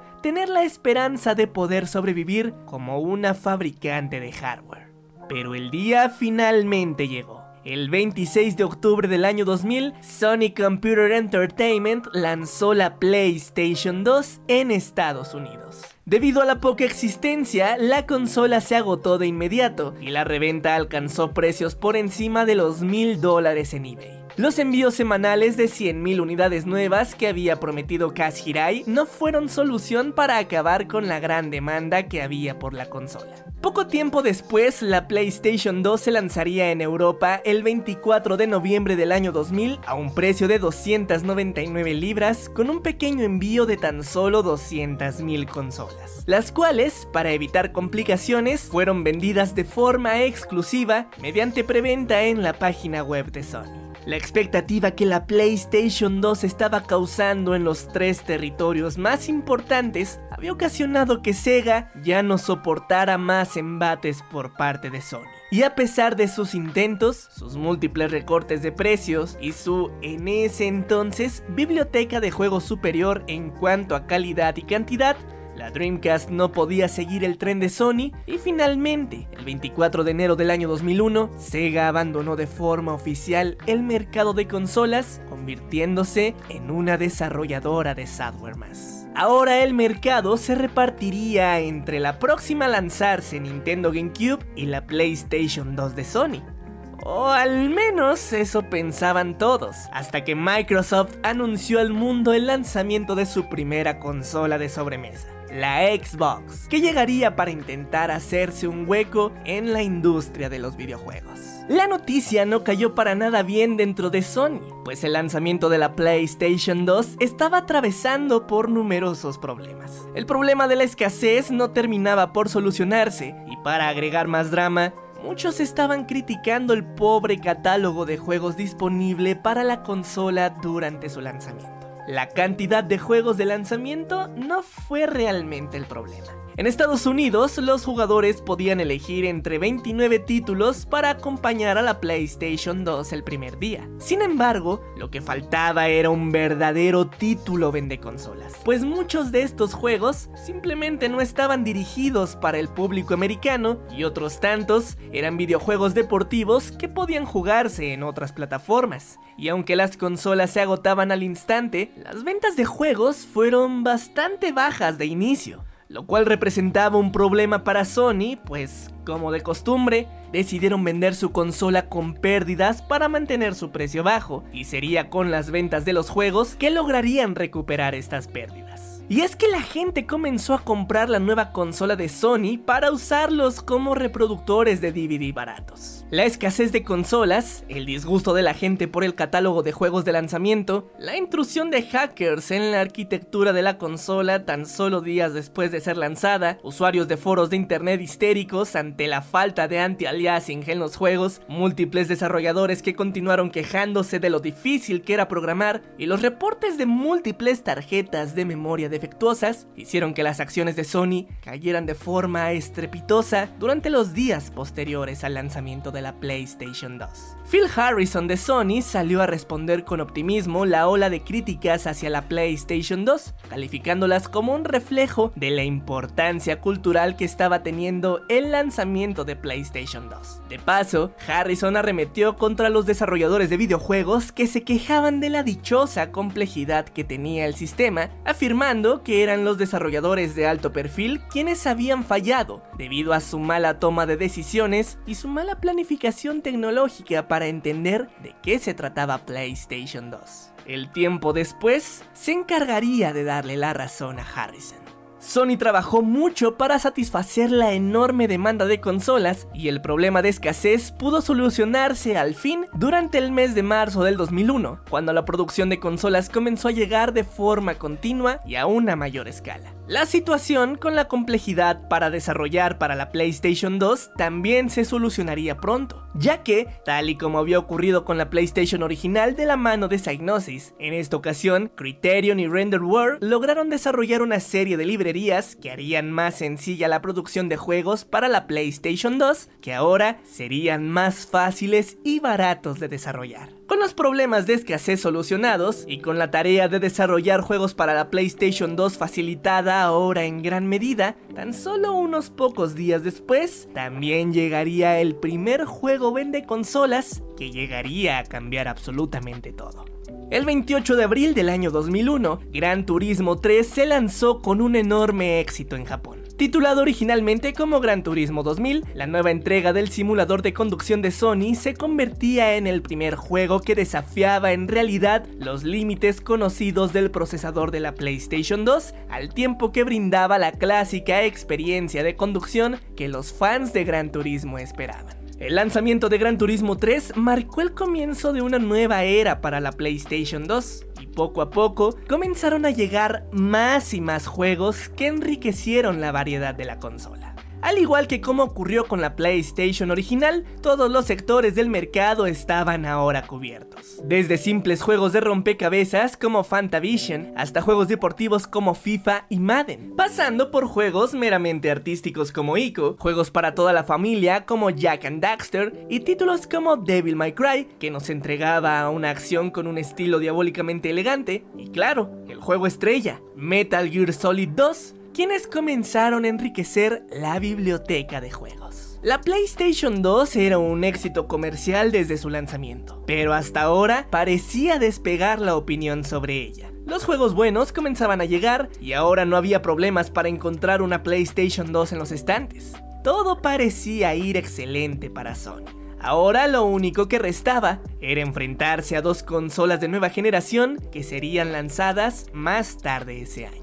El 14 de septiembre del año 2001, la Nintendo GameCube fue lanzada en Japón, sin embargo, sus ventas fueron inesperadamente malas. Dos meses después, el 15 de noviembre, la Xbox de Microsoft se lanzó en Estados Unidos, agotando sus consolas de forma instantánea algo que también lograría tres días después Nintendo cuando lanzó su GameCube en territorio americano. Y al contrario de lo que ocurrió en Japón, también lograron agotar su stock inicial de consolas durante las primeras horas. Pero la amenaza de estas nuevas consolas sería poca cuando Grand Theft Auto 3 de Rockstar se lanzó para la PlayStation 2 también a finales de este mismo año. Aunque durante su presentación en la E3, GTA 3 fue visto como un juego más, la tercera entrega de Grand Theft Auto se convirtió en uno de los mayores éxitos de la PlayStation 2 y se mantuvo entre los 10 juegos más vendidos durante más de un año. Y para muchos, Grand Theft Auto 3 fue el juego que definió por completo la experiencia de juego de la nueva generación de consolas. Pero sin dormirse en sus laureles, ya llegado el año del 2002, Sony anunció un recorte de precio para la PlayStation 2, pasando de 299 dólares a solo 199 dólares. El anuncio lo dio una semana antes que ocurriera la E3 de aquel año, un movimiento inteligente, pues en caso de que Microsoft o Nintendo anunciaran recortes al precio de sus consolas, estos serían vistos como algo obligado debido al recorte que Sony había hecho ya a su consola. Pero los recortes de precio y una avalancha de juegos no serían lo único que se vería durante las conferencias de la E3. Incluso desde las primeras demostraciones de la consola, Sony presentó otras innovaciones para la PlayStation 2, en donde se podía observar desde algunos desarrolladores agitando varitas y espadas para mostrar las posibilidades teóricas que daría la consola su conectividad USB, hasta el anuncio del innovador A-Toy, que a su vez trajo una ola de títulos similares que se lanzaron a un público en expansión. La PlayStation 2 se estaba convirtiendo en un monstruo, y Ken Kutaragi salió a modo de broma a declarar que le parecía raro como al inicio todos los desarrolladores de videojuegos se habían quejado de la PlayStation 2, pero ahora que todo había avanzado, absolutamente nadie tenía ni una sola queja. Para finales del año 2002, Sony Computer Entertainment anunció que la consola había superado la marca de 40 millones de consolas vendidas. Pero sí existía un área en la cual Sony había palidecido frente a la Xbox de Microsoft o incluso ante la Dreamcast de Sega. Es que, a pesar de que la PlayStation 2 estaba construida para tener capacidades en línea, este enfoque nunca tuvo un especial interés por parte de Sony. A pesar de que Ken Kutaragi tenía como objetivo crear un portal interactivo para la PlayStation 2 lleno de contenido donde los usuarios podrían descargar películas, música y por supuesto videojuegos. La visión de juego en línea que Ken Kutaragi tenía en mente jamás se llegó a materializar. Pero ciertamente, la llegada de Xbox Live hizo que Sony comenzara a hacer sus propios movimientos para satisfacer esta nueva necesidad. Coincidiendo con el lanzamiento de la red de juegos de Microsoft, Sony lanzó su adaptador de red para la PlayStation 2 a finales del año 2002, y gracias a este aditamento, la consola vio llegar algunos juegos en línea con una base de fans bastante amplia, tales como Final Fantasy Y SOCOM. Sony le dio mucha publicidad a este nuevo adaptador e incluso Electronic Arts apoyó bastante a Sony al ofrecer su línea de juegos con una modalidad exclusiva en línea, la cual no llegaría a Xbox sino hasta el 2004. Aún así, la plataforma online de PlayStation nunca pudo competir en realidad contra lo que Xbox Live ofrecía. Pero esto poco importaba cuando juegos como Grand Theft Auto San Andreas llegaban a la PlayStation 2. Grand Theft Auto San Andreas se convirtió al poco tiempo en el juego más vendido de la consola, y durante ese mismo año, Sony también reveló un nuevo modelo más delgado de la PlayStation 2, la PlayStation 2 Slim.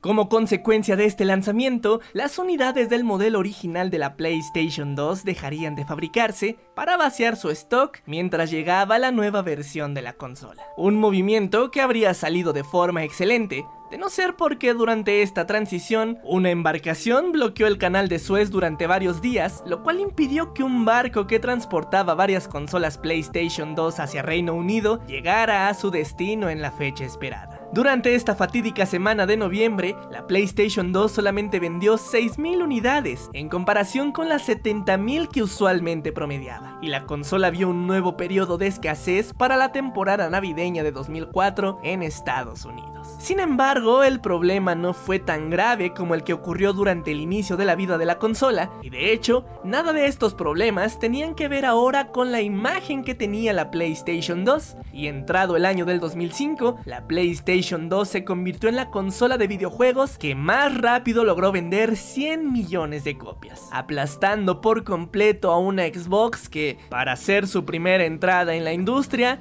realmente no lo había hecho nada mal, pero poco tenía que hacer con sus 20 millones de consolas vendidas frente a Sony. Y ni hablar de la GameCube que tan solo había logrado vender 15 millones de consolas para ese entonces. De forma consecutiva, Sony había vuelto a romper la barrera de las 100 millones de consolas y de nuevo se coronaba de forma indiscutible como la ganadora de la generación. Gracias al enorme soporte por parte de desarrolladoras externas que impulsaron por completo el catálogo de juegos de la consola con entregas como Final Fantasy X y el enorme lanzamiento de Kingdom Hearts. Otros juegos de terceros como Okami de Capcom, Metal Gear Solid 2 y 3 de Konami, Persona 3 y 4 de Atlus, Tekken 4 y 5 de Namco y un sinnúmero de juegos más nutrieron a una consola que vio más de 3.500 juegos lanzados a lo largo de su historia. Pero tampoco podemos ignorar lo sólida que fue su línea de juegos exclusivos. Series como God of War, Ratchet Clank, Jack and Daxter y Shadow of the Colossus nacieron en PlayStation 2 y ayudaron a convertirla en el monstruo que se convirtió.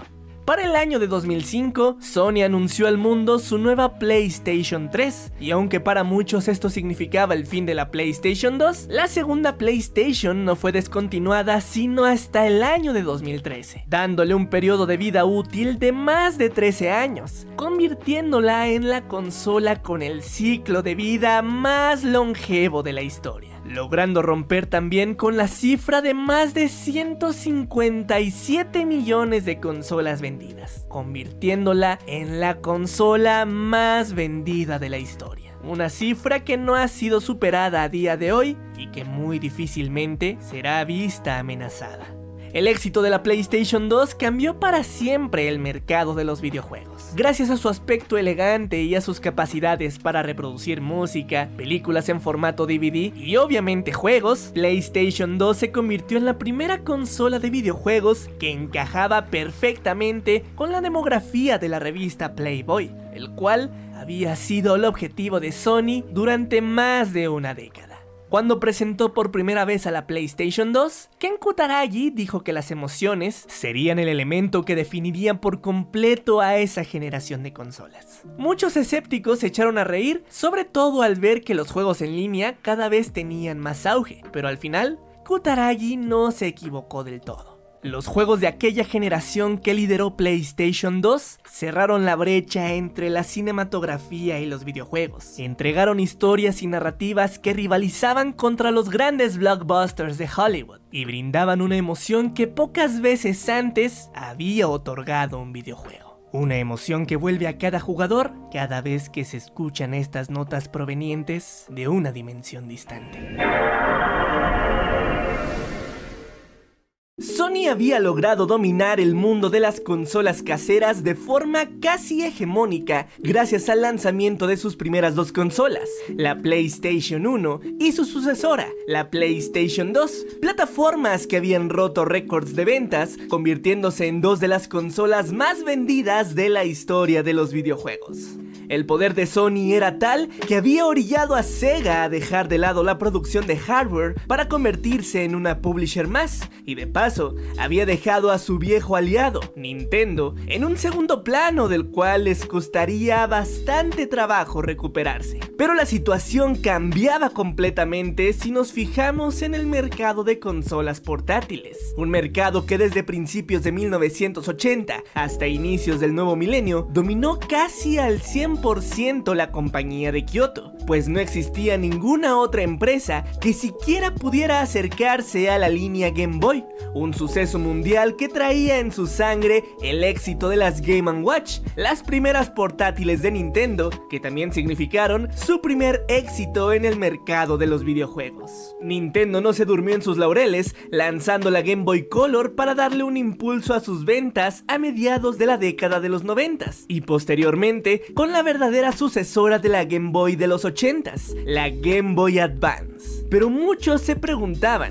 con Sony triunfando en el mundo de las consolas caseras, ¿cuánto tiempo le restaba a Nintendo siendo el único jugador en el mercado portátil? Y es que todo parecía cuadrar. La historia de Sony estaba estrechamente ligada con el éxito del Walkman, el primer aparato completamente portátil que tuvo éxito alrededor del mundo que Sony pudiera dar en el clavo para diseñar una consola portátil de enorme éxito parecía algo natural. Sony juntó su experiencia diseñando aparatos portables con su cada vez más importante división de entretenimiento electrónico en el año de 1999 con el lanzamiento de la Pocket Station, un diminuto dispositivo que aunque no era una consola portátil en sí y tecnológicamente estaba más cerca de un Tamagotchi o de las icónicas memorias virtuales de la Sega Dreamcast que de un Game Boy, logró vender bastante bien, con más de 5 millones de unidades vendidas en Japón, país del cual jamás salió, pues Sony temía no poder satisfacer la demanda. La Pocket Station tenía su encanto gracias a sus lindos minijuegos de baja resolución que se conectaban a títulos populares de la PlayStation original, tales como Final Fantasy VIII y Street Fighter Alpha 3, y en algunos títulos permitía desbloquear contenido adicional. La Pocket Station fue una señal temprana de que la marca PlayStation tenía bastante potencial fuera de casa, y con el gran éxito que las primeras dos PlayStation estaban teniendo, las esperanzas de una portátil de la marca lucían como algo bastante viable. La pregunta ya no era si Sony podría lanzar alguna vez una portátil, sino cuándo lo harían. ¿Qué aspecto tendría la consola? ¿Serían capaces de traducir el éxito de sus consolas domésticas a una experiencia de un tamaño más pequeño? ¿Podría finalmente alguien ofrecer una alternativa real a las portátiles de Nintendo? El bombazo llegaría durante la E3 del año 2003, cuando Sony anunció lo que describieron como el Walkman del siglo XXI. El anuncio de la PlayStation Portable fue una verdadera sorpresa, pues no había rumores de que Sony siquiera hiciera mención del desarrollo de una consola portátil, pero la compañía compartió detalles bastante interesantes sobre la nueva consola. La PSP tendría un soporte de disco óptico miniatura de un formato llamado UMD, abreviatura de Universal Media Disc, un formato que tendría una capacidad de almacenamiento de hasta 1,8 GB de datos, en menos de la mitad de un tamaño de un CD o DVD estándar, algo bastante impresionante para la época. Pero los UMD no se iban a limitar a juegos. PSP admitiría MPG4 y otros códecs de audio y video que prometían una calidad de imagen equivalente a la que ofrecían los DVDs, por lo que la posibilidad de usar un PSP para ver películas se antojaba como algo real. La consola tendría gráficos que estarían al nivel de la PlayStation 2 gracias a su tecnología de semiconductores de 90 nanómetros y un cerebro con arquitectura MIPS a 32 bits. La pantalla sería de 4,5 pulgadas, retroiluminada y con tecnología de cristal líquido incluiría sonido 3D y contaría con una disposición de botones prácticamente idéntica a la de los clásicos DualShock, soporte para tarjetas de memoria para guardar partidas y almacenar juegos y una batería recargable de litio. Sin embargo, la mayor promesa de esta nueva consola sería la conectividad la PSP podría conectarse a una computadora, a una PlayStation 2 y por supuesto a otras consolas PSP para partidas multijugador. La conferencia de aquella E3 terminó sin que se mostrara imagen alguna del hardware, pero la descripción del producto ya la situaba muy por delante de cualquier otra plataforma portátil en términos de funciones gráficas y multimedia. Todo estaba jugando a favor para que la PSP se convirtiera en el nuevo éxito de Sony. El entusiasmo por la nueva PSP era bastante alto por parte de toda la comunidad de videojugadores, aunque aún nadie conocía el aspecto del próximo éxito de Sony. Tuvieron que pasar seis meses para que las primeras imágenes de la portátil salieran a la luz durante una reunión corporativa celebrada a inicios de noviembre que no tenía como protagonista siquiera a la marca PlayStation, pero que fue el marco perfecto para mostrar a inversionistas de Sony un aspecto conceptual y bastante temprano de cómo luciría la PSP. Estas imágenes dejaban ver una consola con botones planos, completamente al ras, sin presencia alguna de stick analógico y una ranura para colocar los UMD, bastante estándar, rodeada de un anillo de cromo.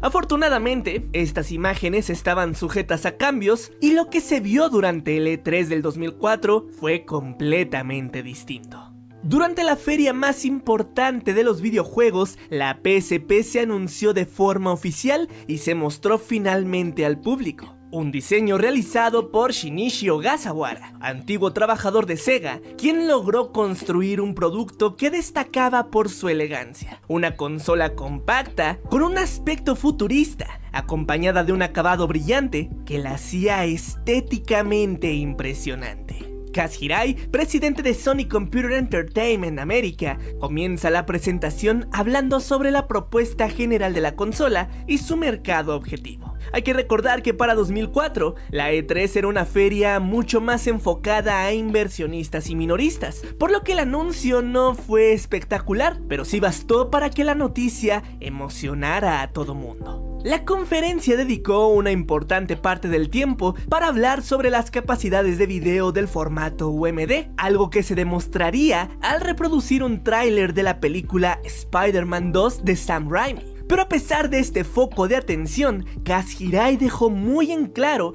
que la aplicación más importante de la PSP serían los juegos. El soporte por parte de compañías de terceros se había convertido en un punto fuerte que volvería en esta ocasión para la PlayStation portable, y la calidad gráfica de los juegos mostrados hacía evidente que no le pedía nada a la potencia de la PlayStation 2. La consola lucía bien, los juegos tenían un rendimiento espectacular y la conectividad inalámbrica garantizaba que PSP estaba preparada para el futuro. Casi un centenar de desarrolladores estaban sumados al barco, creando software para la portátil de Sony. El público estaba bastante emocionado. Ese mismo año, durante la misma E3, Nintendo también anunció una nueva plataforma portátil, la Nintendo 10 una consola que tenía una filosofía completamente opuesta a la de Sony. Luego de perder el trono ante Sony en dos ocasiones consecutivas, ante dos máquinas que no lograban superar técnicamente a las consolas de Nintendo, ahora los de Kyoto querían alejarse de la obsesión por los gráficos para presentar una nueva forma de jugar, una bastante peculiar, utilizando dos pantallas y un stylus. Gráficamente, la Nintendo 10 estaba al nivel de la Nintendo 64, por lo que la PSP la dejaba en ridículo, y esto se hacía evidente con un juego en particular, Ridge Racer. La versión de 10 era una versión basada en la lanzada para Nintendo 64 con colores más chillones y controles táctiles poco convencionales. La versión de PSP, en cambio, fue un reinicio total de la franquicia, con imágenes que en esa época parecían imposibles de lograr para un sistema portátil. Mientras Sony golpeó fuerte con su PSP, la Nintendo 10 dio una primera impresión de que Nintendo se estaban volviendo locos. Más aún cuando Nintendo aclaró que la Nintendo 10 no estaba destinada a convertirse en la sucesora del Game Boy Advance, sino que conviviría con ella en el mercado. Para los jugadores, PlayStation se había convertido en el lugar perfecto para jugar, y con una Nintendo que presentaba una portátil que no llegaba tecnológicamente ni a los talones de la PSP, todos comenzaron a decantarse por la propuesta de Sony. Para el 27 de octubre de 2004, Sony reveló la fecha de lanzamiento de la PSP en Japón. El día elegido sería el 12 de diciembre y la consola llegaría en dos distintas presentaciones. Un modelo básico que costaría 185 dólares y un modelo premium llamado Value Pack que incluiría consigo algunos periféricos adicionales por un precio de 235 dólares. Finalmente, la consola se puso a la venta en Japón, logrando vender más de 200.000 unidades en su primer día. Para febrero de 2005, Sony anunció el lanzamiento de la PSP en territorio americano, ofreciendo solo el paquete Value Pack a un precio de 249 dólares. La consola se lanzó el 24 de marzo de ese mismo año y para el día siguiente, la consola ya había vendido más de medio millón de unidades. En Europa, la situación tuvo unos cuantos contratiempos, pues debido a la alta demanda en los territorios americano y japonés, esto ocasionó una falta de stock bastante importante, por lo que su lanzamiento tuvo que retrasarse hasta el 1 de septiembre. Pero una vez lanzada, la consola vendió más de un millón de unidades durante su primer semana. PSP se encontraba rompiendo los récords de ventas que la Nintendo 10 no tenía mucho de haber establecido.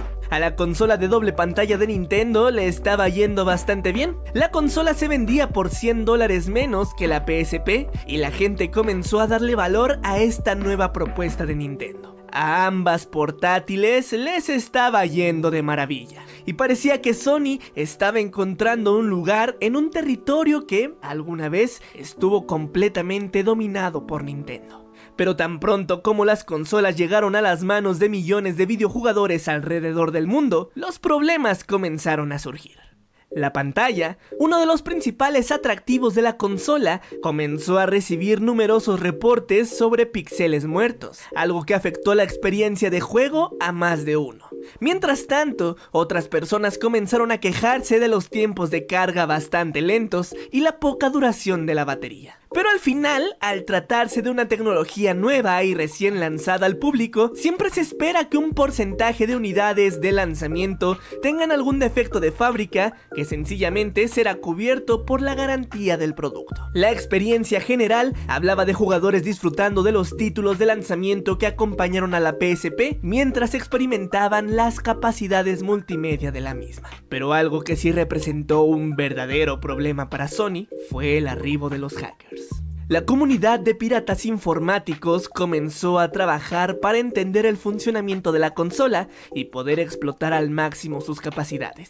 Tan solo pocos meses después del lanzamiento, numerosos exploits que permitían la ejecución de códigos sin firmar comenzaron a ser descubiertos y distribuidos en línea a partir del 15 de junio de 2005. En respuesta, Sony lanzó una actualización del firmware de la consola, que no solo cerraba las vulnerabilidades descubiertas, sino también hacía llegar a la PSP nuevas funciones tan destacadas como la adición de un navegador web.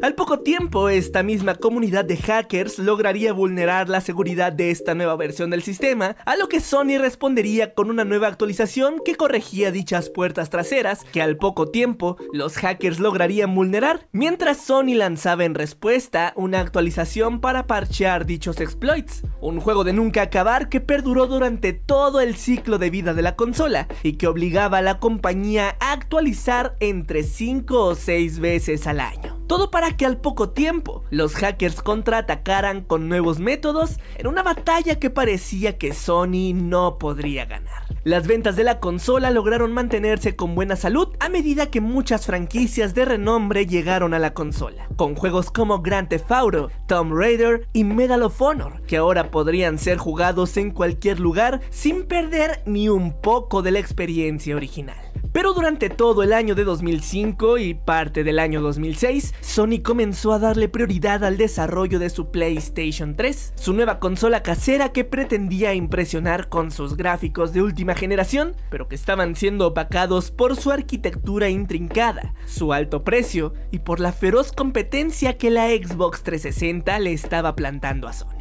Durante la E3 de ese año, Kaz Hirai anunció que la PSP logró vender más de 17 millones de consolas alrededor del mundo hasta el 31 de marzo de 2006. La portátil está logrando vender de forma impresionante, pero las cifras de ventas de juegos dejan mucho que desear. 47 millones de juegos se vendieron hasta el final de marzo del 2006, lo que significaba que en promedio cada poseedor de una PSP solo compraba entre 2 o 3 juegos, una cifra bastante baja, probablemente ocasionada por la alta piratería que existía en la consola. En cuanto a las películas en formato UMD, la cifra llegaba a las 18 millones de unidades, un porcentaje aún más bajo.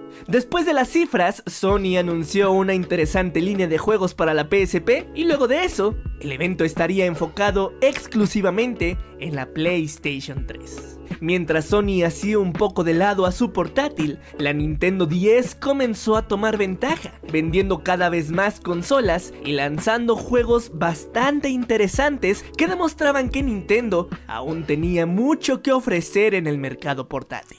Pero no todo fue malo para la PSP, pues la consola siguió recibiendo constantes actualizaciones de firmware que agregaban nuevas características y mejoraban la experiencia de usuario, al tiempo que mantenían un ritmo bastante bueno de lanzamientos de juegos de gran calidad.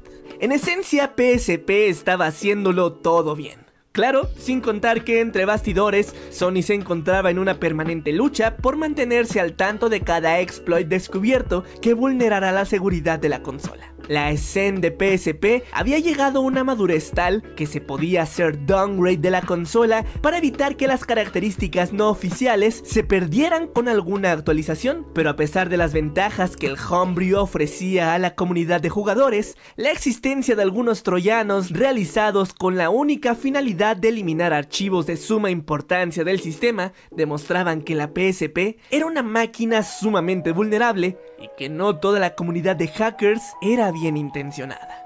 A principios de 2007 comenzaron a sonar los primeros rumores que hablaban sobre una sucesora de la PSP. Entre las nuevas características que serían agregadas, se especulaban cosas como una pantalla más grande y un stick análogo secundario. Los rumores al final resultaron ir más allá de lo que al final se presentó en la E3 del 2007, una conferencia en la que Sony le dio mucha más atención a su consola portátil, pues presentaron un nuevo modelo, la PSP 2000, que destacaba por ser mucho más liviana y delgada, con una duración de batería extendida, mayor memoria para reducir los tiempos de carga, un pad direccional mejorado y con la posibilidad de conectar la consola a un televisor. Implementaciones bastante importantes que, aunque diferían bastante de los primeros rumores, mejoraban en enorme medida la experiencia de juego. La PSP lo estaba haciendo bastante bien, pero a medida que pasaba el tiempo, parecía que la Nintendo 10 lo hacía cada vez mejor. Lo que a todos les pareció una locura bastante inferior a la propuesta de Sony, ahora se encontraba derrotando con la mano en la cintura a la portátil de Sony.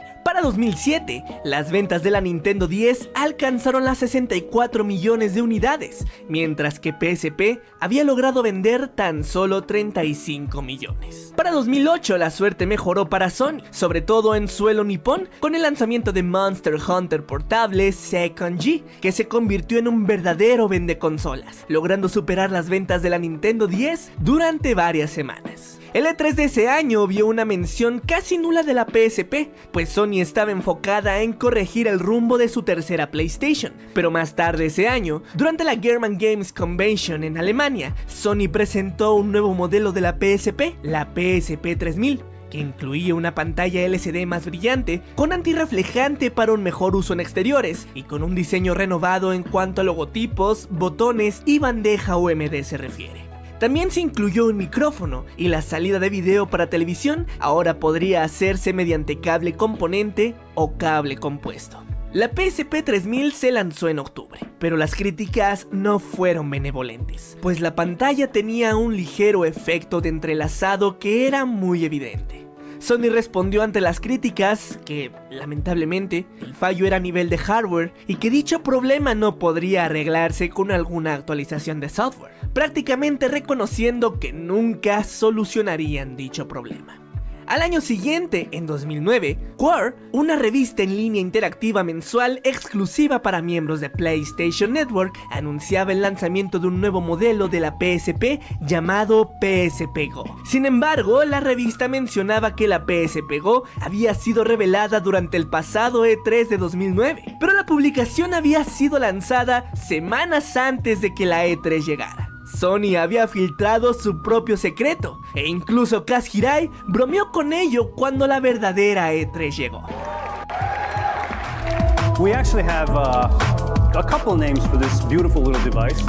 First, we call it the worst kept secret of E3. La PSP Go eliminaba por completo la unidad de UMD, convirtiéndose en una consola 100% digital, haciendo uso de sus 16 GB de memoria integrada para descargar juegos desde la PlayStation Store. El diseño de la consola cambiaba radicalmente, haciéndose más pequeña y con un mecanismo deslizante. Sony claramente quería hacer un experimento para poder tomar un mayor control del contenido que ofrecía. La PSP Go coexistiría como la versión premium de la PSP 3000 y no sería un reemplazo de la línea original, lanzándose el 1 de octubre a 249 dólares, pero no logrando vender lo esperado. En 2010 el formato UMD para películas prácticamente estaba en desuso. Ninguna película nueva se lanzaba para este formato y las películas ya existentes comenzaron a dejar de venderse. Pero la conexión con la PlayStation 3 se había mejorado en gran medida, algo que extendió un poco la vida de la consola. Para la E3 de ese año, Sony dedicó una parte de su conferencia a mostrar nuevos juegos para la portátil, además de una renovada estrategia publicitaria que empataba con los nuevos comerciales de PlayStation, que se burlaba de lo engreída que había sido Sony al inicio de la vida de la tercera consola de la compañía. Sin embargo, mucho del nuevo contenido pasó desapercibido por los jugadores. Aún así, el lanzamiento de Monster Hunter Portable Third ayudó a que la consola volviera a vender grandes cantidades en Japón, de nueva cuenta destronando a la Nintendo 10 durante varios meses. La vida de la PSP parecía apagarse poco a poco, y los rumores de una auténtica sucesora cada vez sonaban más fuertes. La PSP está lejos de ser un fracaso. Significó la primera y única ocasión hasta el momento en la que una consola portátil no fabricada por Nintendo había logrado tener gran éxito. Una consola que es recordada hasta día de hoy por ser todo un referente del juego portátil, innovadora en más de un sentido y que gracias a la comunidad de desarrolladores Homebrew está más viva que nunca. Es el mes de marzo del año 2001. La PlayStation 2 había cumplido apenas un año de vida y Sony dominaba con puño de hierro el mercado de consolas caseras. En esta misma fecha, la compañía forma una alianza con la empresa de tecnología estadounidense IBM y con la también japonesa Toshiba para desarrollar un potente microprocesador con una nueva arquitectura basada en la clásica PowerPC. Entre las tres compañías se invirtieron cerca de 400 millones de dólares en investigación y desarrollo de lo que se convertiría en el chip Cell. El desarrollo de esta arquitectura se prolongó a lo largo de cuatro años. Tanto Toshiba, IBM y la propia Sony tenían planes muy particulares para este nuevo chip, IBM lo emplearía en campos de computación científica y médica, Toshiba en sus servidores Blade y a Sony le caería perfecto para fabricar televisores inteligentes y obviamente para su tercera consola de sobremesa. La primera vez que la división de entretenimiento electrónico de Sony hizo mención alguna del chip Cell ocurrió durante la E3 del año 2004 en ese momento, el director de tecnología de Sony, Masuyaki Chatani, subió al escenario para explicar las capacidades de supercomputación que el chip Cell era capaz de realizar, señalando que su uso iría más allá de los videojuegos finalizando su participación comentando que pronto habría una estación de trabajo basada en Cell disponible para los desarrolladores. No hubo mención alguna de forma directa a la PlayStation 3.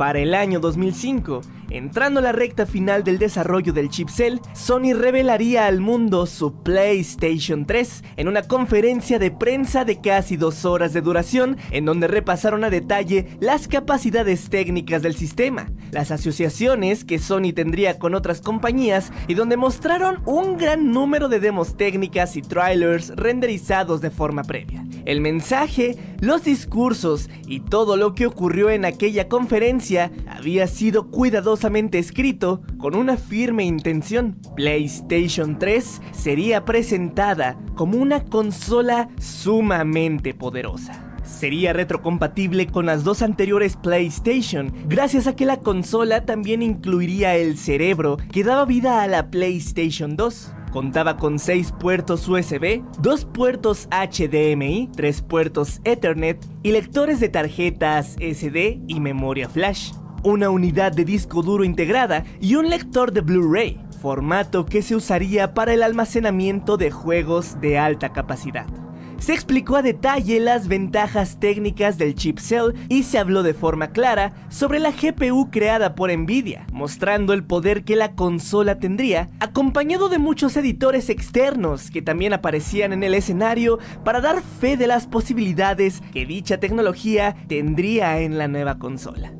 Después de hora y media, Sony por fin mostró juegos que se encontraban en desarrollo para la PlayStation 3. La conferencia culminaría con Ken Kutaragi sosteniendo con orgullo a la consola, prometiendo su lanzamiento para la primavera del año 2006. Más tarde, en el piso de exhibición, se pudo observar también el diseño del controlador de la nueva PlayStation 3, un diseño completamente distinto al tradicional DualShock, el cual había sido sustituido por un mando al cual se le llamó Boomerang. Más que buscar innovación en su nuevo mando, la realidad es que Sony enfrentaba un problema legal con la compañía Immersion Technology, compañía dueña de las patentes que hacían posible la vibración en el DualShock 2. Para evitar controversias en la corte, el mando Boomerang reformaba por completo el diseño del mando, sin dar espacio para que se incluyera la funcionalidad de vibración.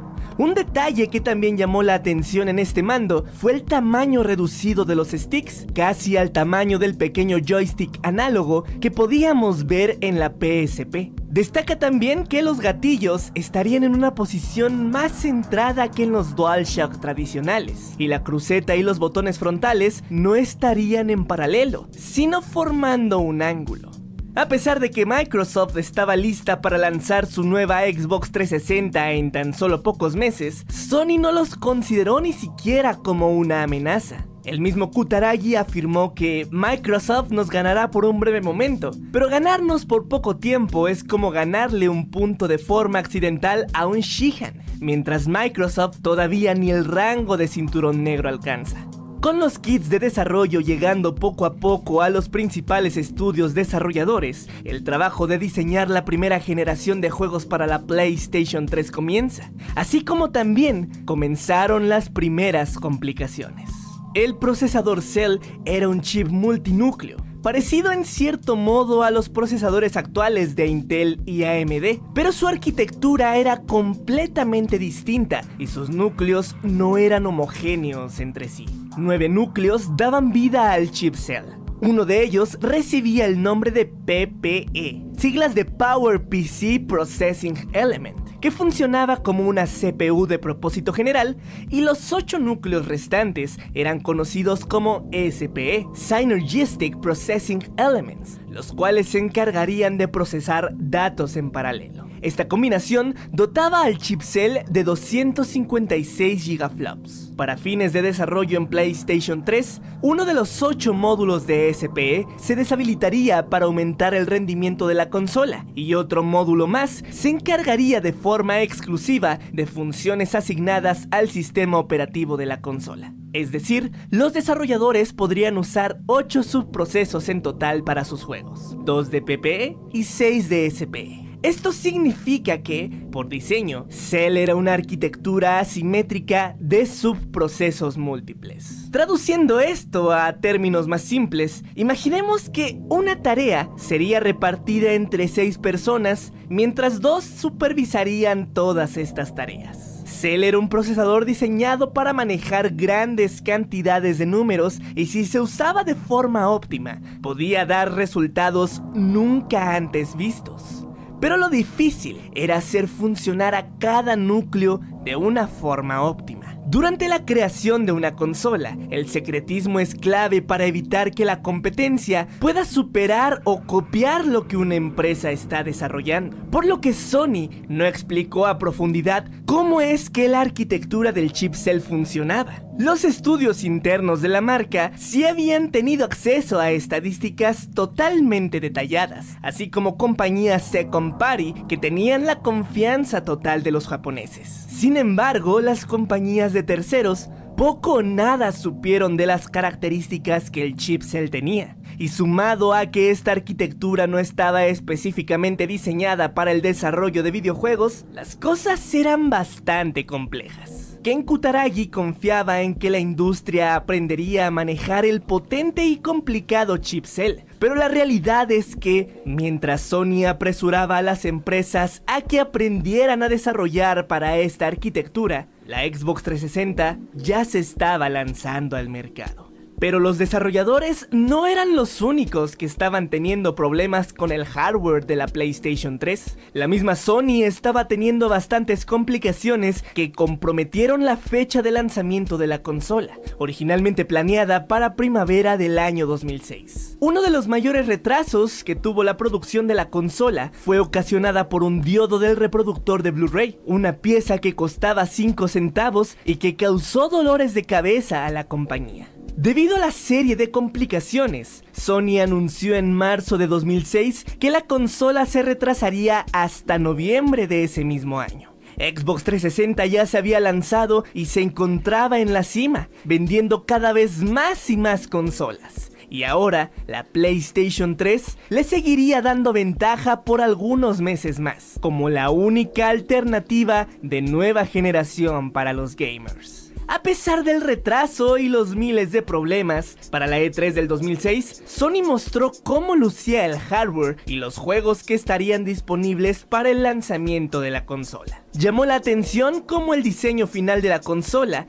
era significativamente distinto a los renders mostrados el año anterior. Ahora PlayStation 3 tendría menos puertos USB, Ethernet y HDMI, y el control presentado ahora tenía el aspecto del clásico DualShock, aunque ahora bautizado bajo el nombre de Six Axis, el cual incluía un sensor que permitía capturar seis ejes de movimiento, algo que tan de moda había puesto la competencia, quienes parecía que cada vez hacían cosas más raras. Lamentablemente, a causa de que el conflicto legal contra Immersion Technology aún no terminaba, el Six Axis tuvo que prescindir de las funciones de vibración.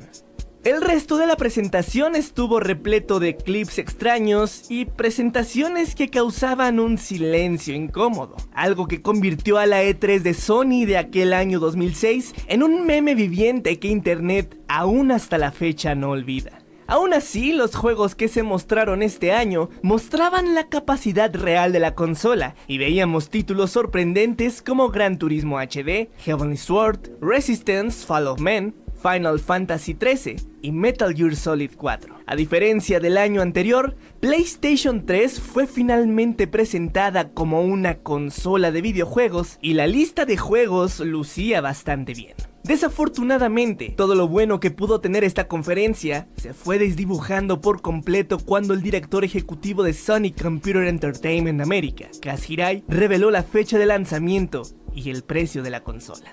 599 dólares americanos por el modelo de 60 GB. La PlayStation 3 era una pieza tecnológica increíblemente impresionante, pero para los consumidores su poder no justificaba el alto costo de la consola, y aún con el alto precio de la máquina, Sony iba a perder aproximadamente 200 dólares por cada consola vendida. Había bastante en juego, Sony había gastado 400 millones de dólares en el desarrollo de la CPU y había apostado porque su Blu-ray iba a ganar la guerra de formatos contra el HD DVD. Era un alto riesgo sumado a que se atrevieron a vender su hardware con pérdidas sustanciales un año después de que Microsoft lanzó su consola. La cantidad de presión que Sony estaba experimentando era inusual para su división de entretenimiento digital, que estaba ya acostumbrada a que las cosas fueran siempre sencillas y siempre salieran bien. Sin embargo, Ken Kutaragi confiaba en que el nombre PlayStation era fuerte y la marca era completamente deseable. Para Kutaragi, PlayStation 3 era su orgullo, un proyecto que se veía como el culmino de lo que comenzó en PlayStation 1. Hay muchas historias sobre Kutaragi que se guardan en secreto, pero todos los que lo conocen concuerdan en que era un líder nato, un visionario feroz y con PlayStation 3 quería crear el dispositivo de entretenimiento definitivo. El único producto que cualquier persona necesitaría para ver películas, escuchar música o jugar videojuegos, con una potencia gráfica llevada al límite. Pero más que cualquier otra cosa, PlayStation 3 significaba para Kutaragi su despedida. Shigeo Maruyama, expresidente de Sony Computer Entertainment, recuerda que cuando la PlayStation 1 se lanzó, Ken Kutaragi inmediatamente comenzó a trabajar en la PlayStation 2 y cuando esta se lanzó, lo mismo hizo al comenzar el desarrollo de la PlayStation 3. Cerca del lanzamiento de la PS3, Maruyama le preguntó a Kutaragi cuáles eran sus planes para PlayStation 4, a lo que respondió, PlayStation 4 no es mi responsabilidad. Ken Kutaragi lo había hecho también con la marca PlayStation, que las apuestas apuntaban a que pronto tomaría la dirección de todo Sony Corporation, por lo que sus palabras eran ambiguas. Pero para Kutaragi, la realidad era que PlayStation 3 sería su adiós. La PlayStation 3 estaría disponible en dos modelos, Uno incluiría almacenamiento de 20 GB a un precio de 499 dólares y el otro de 60 GB al polémico precio de 599 dólares. Este modelo incluía puerto HDMI, conectividad inalámbrica a través de Wi-Fi, lector de tarjetas flash y SD y un borde cromado con el logotipo plateado, cosas que el modelo de 20 GB no tenía y que se sumaron a las críticas que la consola ya de por sí estaba recibiendo. Sony rectificó al poco tiempo su decisión de no incluir puerto HDMI en su versión de 20 GB y durante la Tokyo Game Show se anunció que esta versión también contaría con salida de video para alta definición. Durante esta conferencia también anunciaron la reducción de más de 20% del precio del modelo de 20 GB y mencionaron que la versión de 60 tendría un esquema de precios abierto en Japón por lo que los retailers podrían vender la consola a un precio menor que el sugerido de 599 dólares. Finalmente, la PlayStation 3 se lanzó el 11 de noviembre de 2006 en Japón, vendiendo poco más de 81 mil consolas durante sus primeras 24 horas. Seis días después, la consola sería lanzada en Estados Unidos, en un evento que se vio manchado de sangre. Numerosos reportes de asaltos a punta de pistola, balaceras desde un vehículo con pistolas de aire comprimido y una pelea de 60 personas que querían llevarse uno de los 10 sistemas que se tenían en existencia en una tienda, llenaron los titulares de todo el mundo. Los pocos que pudieron conseguir su consola vieron la oportunidad de revenderla en eBay a precios extraorbitantes que no pocos estuvieron dispuestos a pagar.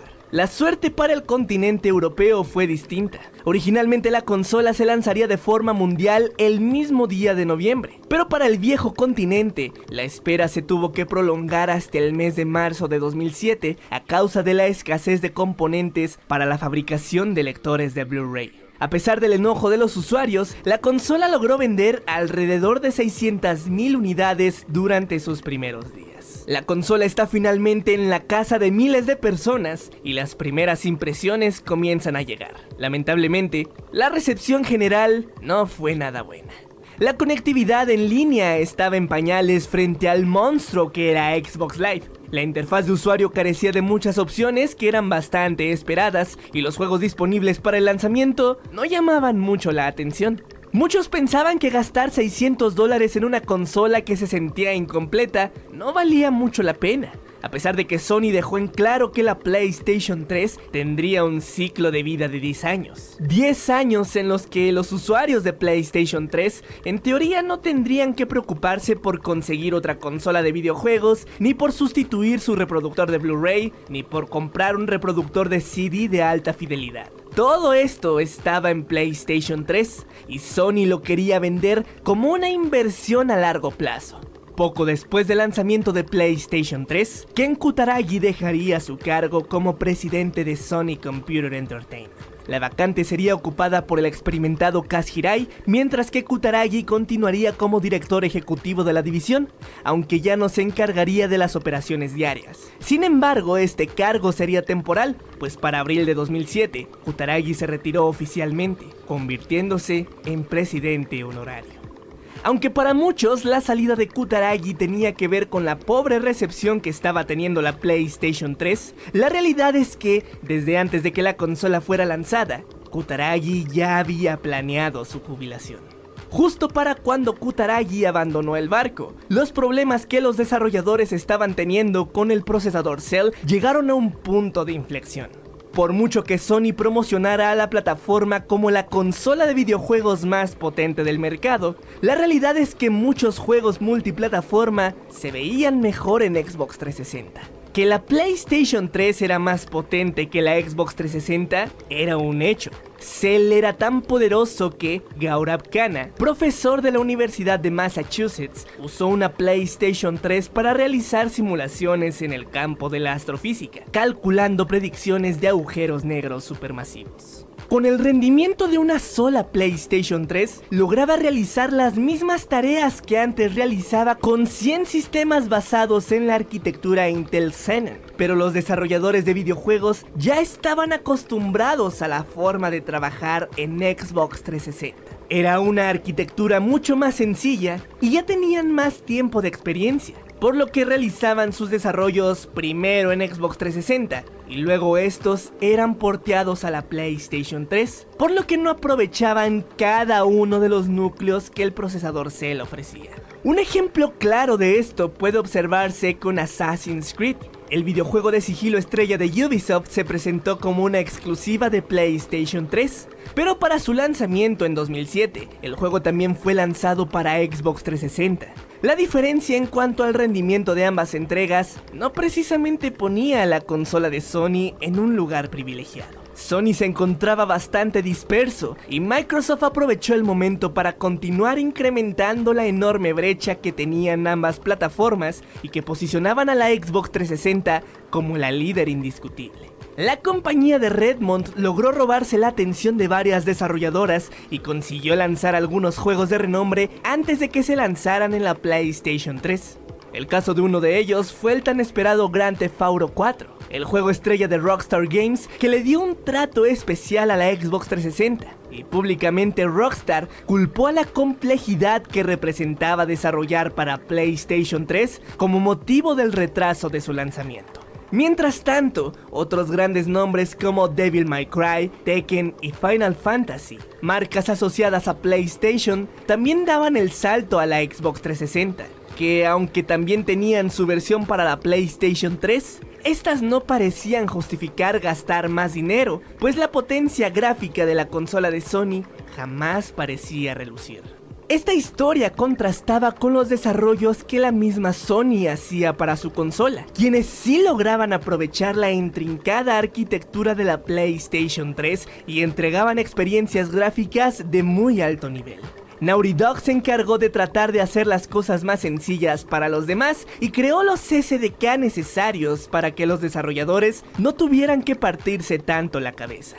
Gracias al desarrollo de Uncharted, Sony pudo tener su primer éxito para la consola a finales del año 2007. Y de paso, Nathan Drake se convirtió en todo un ícono dentro del mundo de los videojuegos. Sony confiaba en su celda Sabían que esta potente pieza de hardware le daría una longevidad sin precedentes a su consola, y creyeron que cuando los desarrolladores lograran descubrir todas las posibilidades que el chipset brindaba, sus desarrollos se moverían hacia la PlayStation 3.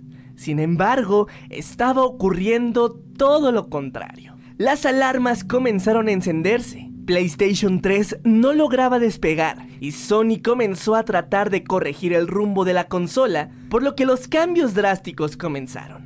La versión de 20 GB fue descontinuada y la versión de 60 bajó de precio. Se lanzó un modelo de 80 GB que retiraba todos los componentes heredados de la PlayStation 2 y que permitía la retrocompatibilidad con esta mediante emulación y luego este modelo sería sustituido por uno de 40 GB de espacio sin retrocompatibilidad. Al sistema comenzaron a llegar numerosas actualizaciones de firmware que incluían algunas funciones bastante esperadas y finalmente comenzaron a llegar exclusivas de calidad. Aún así, la compañía seguía perdiendo dinero con cada PlayStation 3 vendida. Y aunque Sony desarrolló en conjunto Cell pensando en su consola, el plan era que otras divisiones de la marca también lo usaran, para poder justificar la importante inversión que habían realizado en esta arquitectura. Sin embargo, ninguna otra división dentro de Sony quería usarlo, pues tampoco querían verse obligados a fabricar un producto que tendrían que lanzar a un precio mucho más alto en comparación a la competencia. Por lo que PlayStation 3 se convirtió en el único producto basado en Cell que Sony ofrecía, algo que no hizo nada para mitigar las pérdidas. Llegó el año de 2008 y PlayStation 3 iniciaba su segundo año de vida en medio de una serie de complicaciones que parecían no tener fin. Entre bastidores, los ingenieros de Sony comenzaron a realizar una serie de análisis que tenían como intención averiguar qué cosas habían fallado durante el desarrollo y lanzamiento de la PlayStation 3. Un estudio liderado por Mark Cerny, quien tomaría la batuta de esta investigación y de la cual derivaría el desarrollo de la sucesora de la PlayStation 3 con Cerny al mando. Pero el presente era lo primordial en este momento, y para corregir el rumbo, Sony comenzó a apostar por una serie de títulos experimentales como PlayStation Home, un espacio social virtual en donde los jugadores podían reunirse a pasar el rato y jugar videojuegos juntos. Home no tuvo un gran éxito, pero Little Big Planet, la otra gran apuesta de Sony, recibió una mejor recepción, siendo elogiado por la crítica y vendiendo bastante bien. Al ser un juego que rompía la norma en medio de un mercado que al momento se encontraba plagado de shooters, se sentía como una bocanada de aire fresco. 2009 fue un año crucial para Sony. Se convirtió en el año que definió por completo el futuro de la PlayStation 3 y finalmente se pudo ver cómo los esfuerzos por corregir el camino poco a poco estaban rindiendo sus frutos. En este punto la generación se acercaba a la mitad de su ciclo de vida y en Sony estaban haciendo todo lo que podían para vender más y más hardware, mientras que Microsoft trataba de mantener su ventaja y Nintendo se encontraba ya en otro plano existencial que lucía imposible de superar. Sony realizó un gran esfuerzo para cambiar la imagen de la marca PlayStation 3 y prácticamente relanzó la consola. Durante la Gamescom celebrada en Alemania durante agosto de 2009, Sony presentó un nuevo logotipo que conectaba más con el pasado de la marca un nuevo eslogan que hacía mucho más sentido y una nueva estrategia publicitaria que nos introducía con el falso ejecutivo de PlayStation, Kevin Butler, el cual se conectó de forma rápida con el público objetivo y de paso permitió a Sony burlarse de ellos mismos y de lo engreídos que habían sido al inicio del ciclo de vida de la PlayStation 3. La Gamescom vio también el lanzamiento de un nuevo diseño de la PlayStation 3, uno más elegante, más moderno, mucho más pequeño y aún más importante, mucho más barato. La PlayStation 3 Slim parecía una consola completamente distinta y era el paso más importante por eliminar los errores del pasado y hacer más atractiva a la consola, que también veía el regreso de Nathan Drake en Uncharted 2 Among Thieves, el lanzamiento más grande del año para Sony, que se llevó numerosos premios al juego del año y finalmente convenció a los jugadores de que PlayStation 3 aún no estaba en la lona. La anticipada secuela del juego de Naughty Dog elevaba el estándar gráfico de lo que hasta ese punto se había visto para la máquina de Sony y demostraba lo que era posible realizar desde un plano narrativo. Este año también llegaba el prometido Killzone 2 junto con Resident Evil 5, Infamous y un desconocido juego llamado Demon Souls desarrollado por From Software y financiado parcialmente por Sony Computer Entertainment Japón. Por su temática y dificultad, se creyó que el título no tendría cabida en el mercado americano, por lo que limitaron su lanzamiento en el archipiélago asiático. Cuando el juego vendió más de medio millón de copias, Suhei Yoshida tuvo que reconsiderar su decisión y programar un lanzamiento en continente americano. La E3 de ese año confirmó que la PlayStation 3 estaba resurgiendo con fuerza. Los anuncios importantes para la consola se incrementaron y en general en Sony se percibía una actitud totalmente opuesta a lo desastrosas que habían sido sus presentaciones anteriores. Tanto que incluso develaron un nuevo control en respuesta directa al furor que Nintendo estaba ocasionando con su Wii, llamado PlayStation Motion Controller. La tímida presentación realizada por el creador de la Toy, el Dr. Richard Marks, mostró las diversas capacidades del dispositivo. Sin embargo, dicho anuncio sería opacado por la presentación del control de movimiento que Microsoft presentó ese mismo año, tan solo horas antes, el Project Natal, que llegaba con la firme intención de desaparecer los controles de videojuegos y revolucionar por completo la forma en la que los videojugadores interactuaban con ellos. Los esfuerzos de Sony no eran sorpresa, a nadie le gusta perder una competencia, mucho menos cuando el informe de resultados presentado por la compañía el 30 de octubre del año 2009 reportaba una pérdida de 654 millones de dólares, algo que se sumaba a las pérdidas que Sony había generado desde el lanzamiento de la PlayStation 3 y que sumaban ya 4.700 millones de dólares en pérdidas. El ahora llamado PlayStation Move se lanzó para la temporada navideña del 2009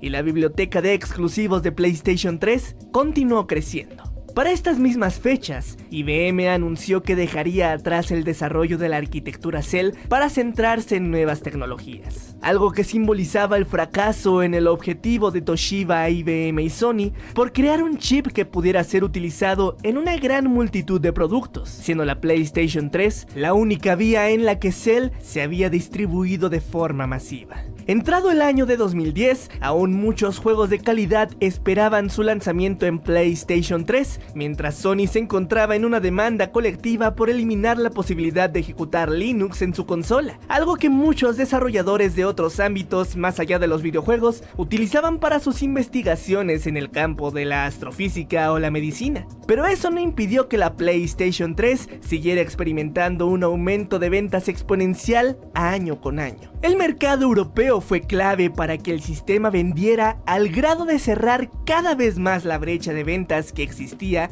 entre la PS3 y la Xbox 360.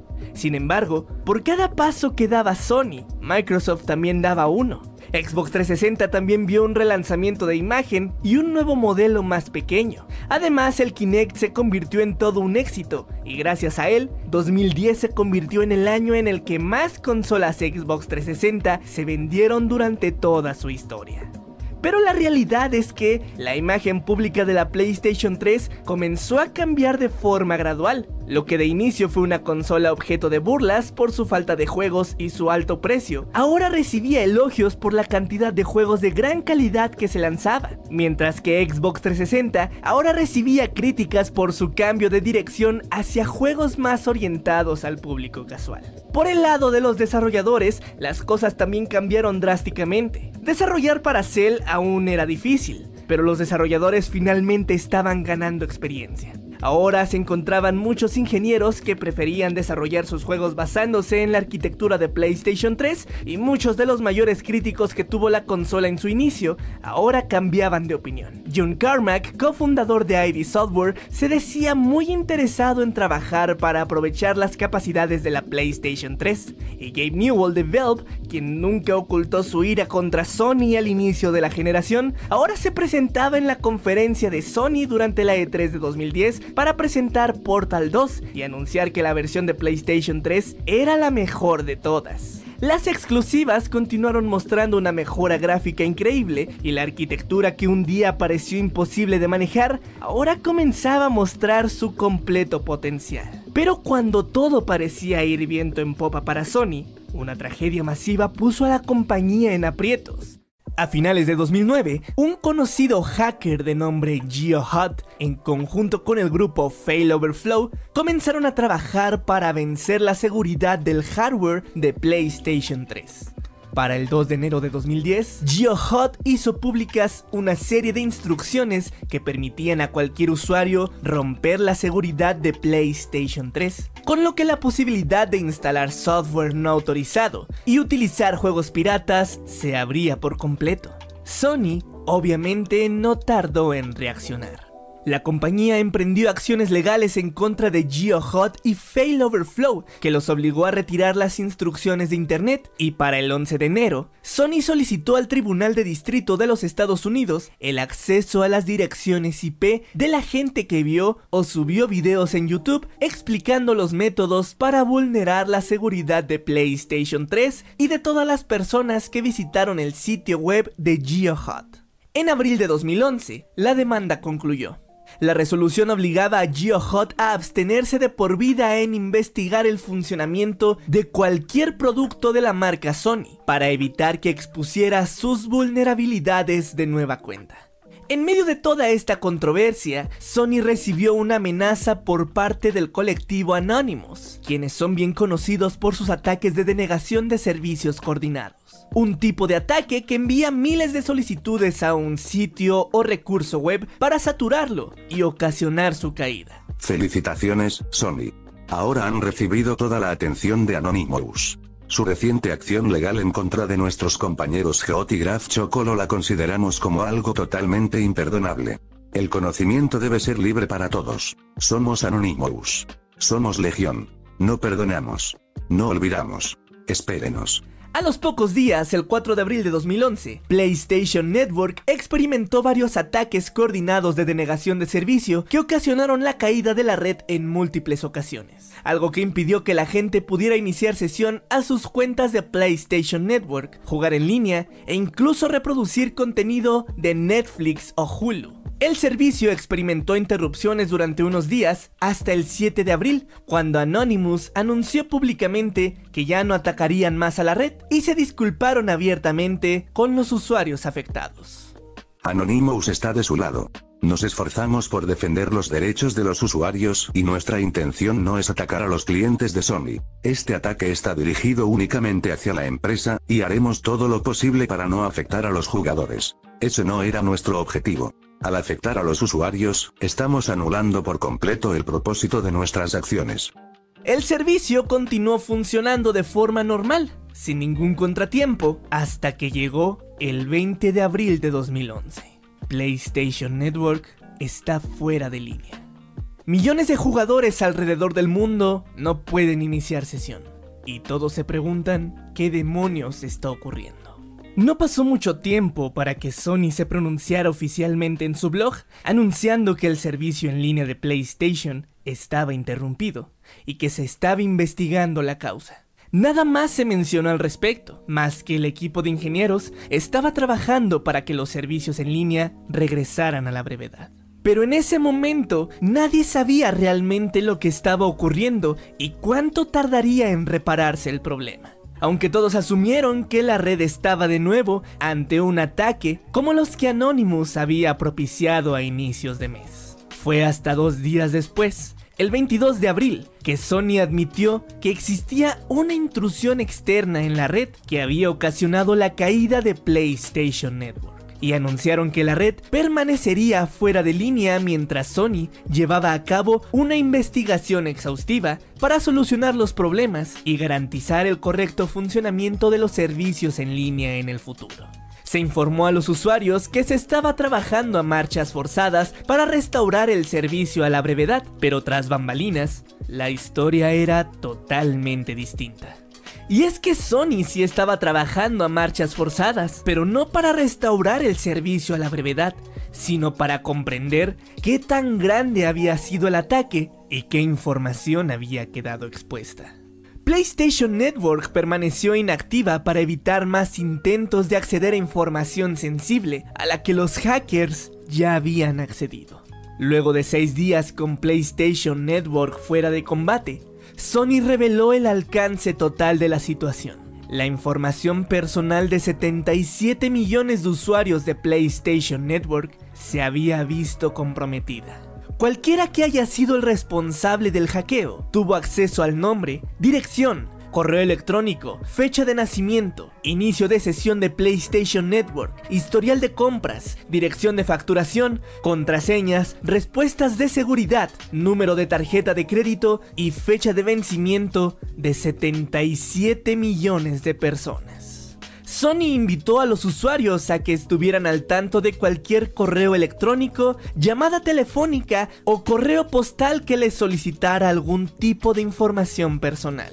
También los invitó a cambiar las contraseñas de otros servicios y a revisar cuidadosamente sus estados de cuenta bancarios. La noticia apareció en los titulares de todo el mundo.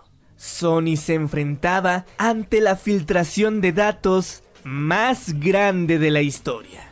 Pero ¿por qué Sony tardó tantos días en advertir de este peligro real a sus usuarios? La razón fue que incluso la misma Sony tardó en darse cuenta de la gravedad de la situación.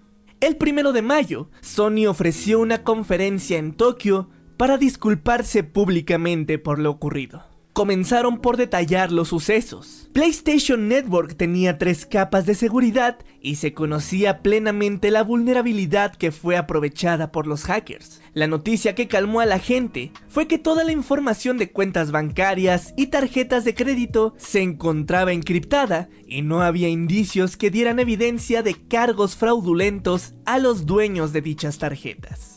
Para evitar problemas similares a futuro, Sony formaría un grupo de ingenieros especializados en ciberseguridad, quienes se encargarían de agregar una capa de seguridad extra al sistema de red. Además de agregar monitoreo de software automatizado, mejorar la encriptación de datos y contar con cortafuegos adicionales. Todas estas medidas estaban siendo supervisadas por empresas de terceros especializados en seguridad informática. Como retribución a todos los usuarios afectados, anunciaron un paquete de bienvenida que todos los jugadores recibirían una vez que el servicio fuera restablecido, que incluía 30 días gratis de PlayStation Plus y una selección de juegos gratis que los usuarios podían elegir para descargar, quienes, para aumentar la seguridad de sus datos, debían crear una nueva contraseña una vez que pudieran iniciar sesión de nuevo. Sony se comprometió a restablecer todos los servicios en un plazo no mayor a una semana. Pero justo un día después, Sony volvió a emitir un comunicado de prensa anunciando que la división Sony Online Entertainment también había sido vulnerada, pues los datos de más de 24.7 millones de cuentas habían sido expuestas y se habían robado los datos de al menos 12.000 tarjetas de crédito. Este hallazgo retrasaría aún más la restauración de los servicios de PlayStation Network. Kaz Hirai, presidente de Sony Computer Entertainment, se vio obligado a enviar una carta abierta a la Cámara de Representantes de los Estados Unidos, respondiendo preguntas sobre el incidente.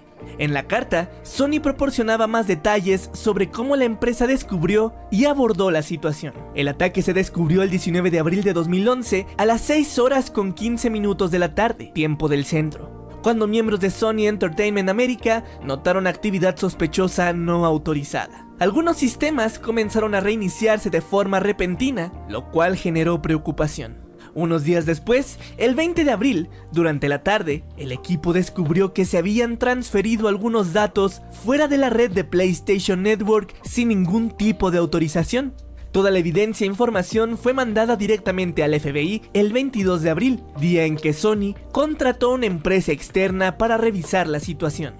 El 23 de abril, la investigación arrojó que los hackers habían utilizado técnicas muy sofisticadas y agresivas para obtener acceso a los servidores de PlayStation, al punto en que los responsables lograron eliminar su presencia dentro del sistema borrando los archivos de registro. Dos días después, se descubrió la importante cantidad de información confidencial que había quedado expuesta, y se descubrieron archivos plantados en los servidores con el nombre de Anonymous que contenían el texto Somos Legión, lo cual dejaba al colectivo de hackers como los principales sospechosos del ataque. Anonymous respondió ante la situación, negando estar involucrados en el ataque y manteniendo su postura de no afectar de ninguna manera a los usuarios de PlayStation. Para este momento, Sony ya tenía una larga fila de demandas por parte de usuarios y una posible multa por parte de la Ley de Protección de Datos del Reino Unido. Para el 6 de mayo, Sony comenzó a realizar pruebas internas para completar la reconstrucción de la red PlayStation Network. Fue hasta el 14 de mayo que finalmente el servicio volvió a la normalidad. De forma escalonada, el servicio comenzó a funcionar en América del Norte y días más tarde se restableció por completo el servicio en otros territorios. La euforia por el regreso de PlayStation Network fue tal que muchos usuarios intentaron iniciar sesión al mismo tiempo y la página de restablecimiento de contraseña comenzó a saturarse, algo que retrasó para algunos usuarios su entrada a la red de Sony. Parecía que el drama había terminado.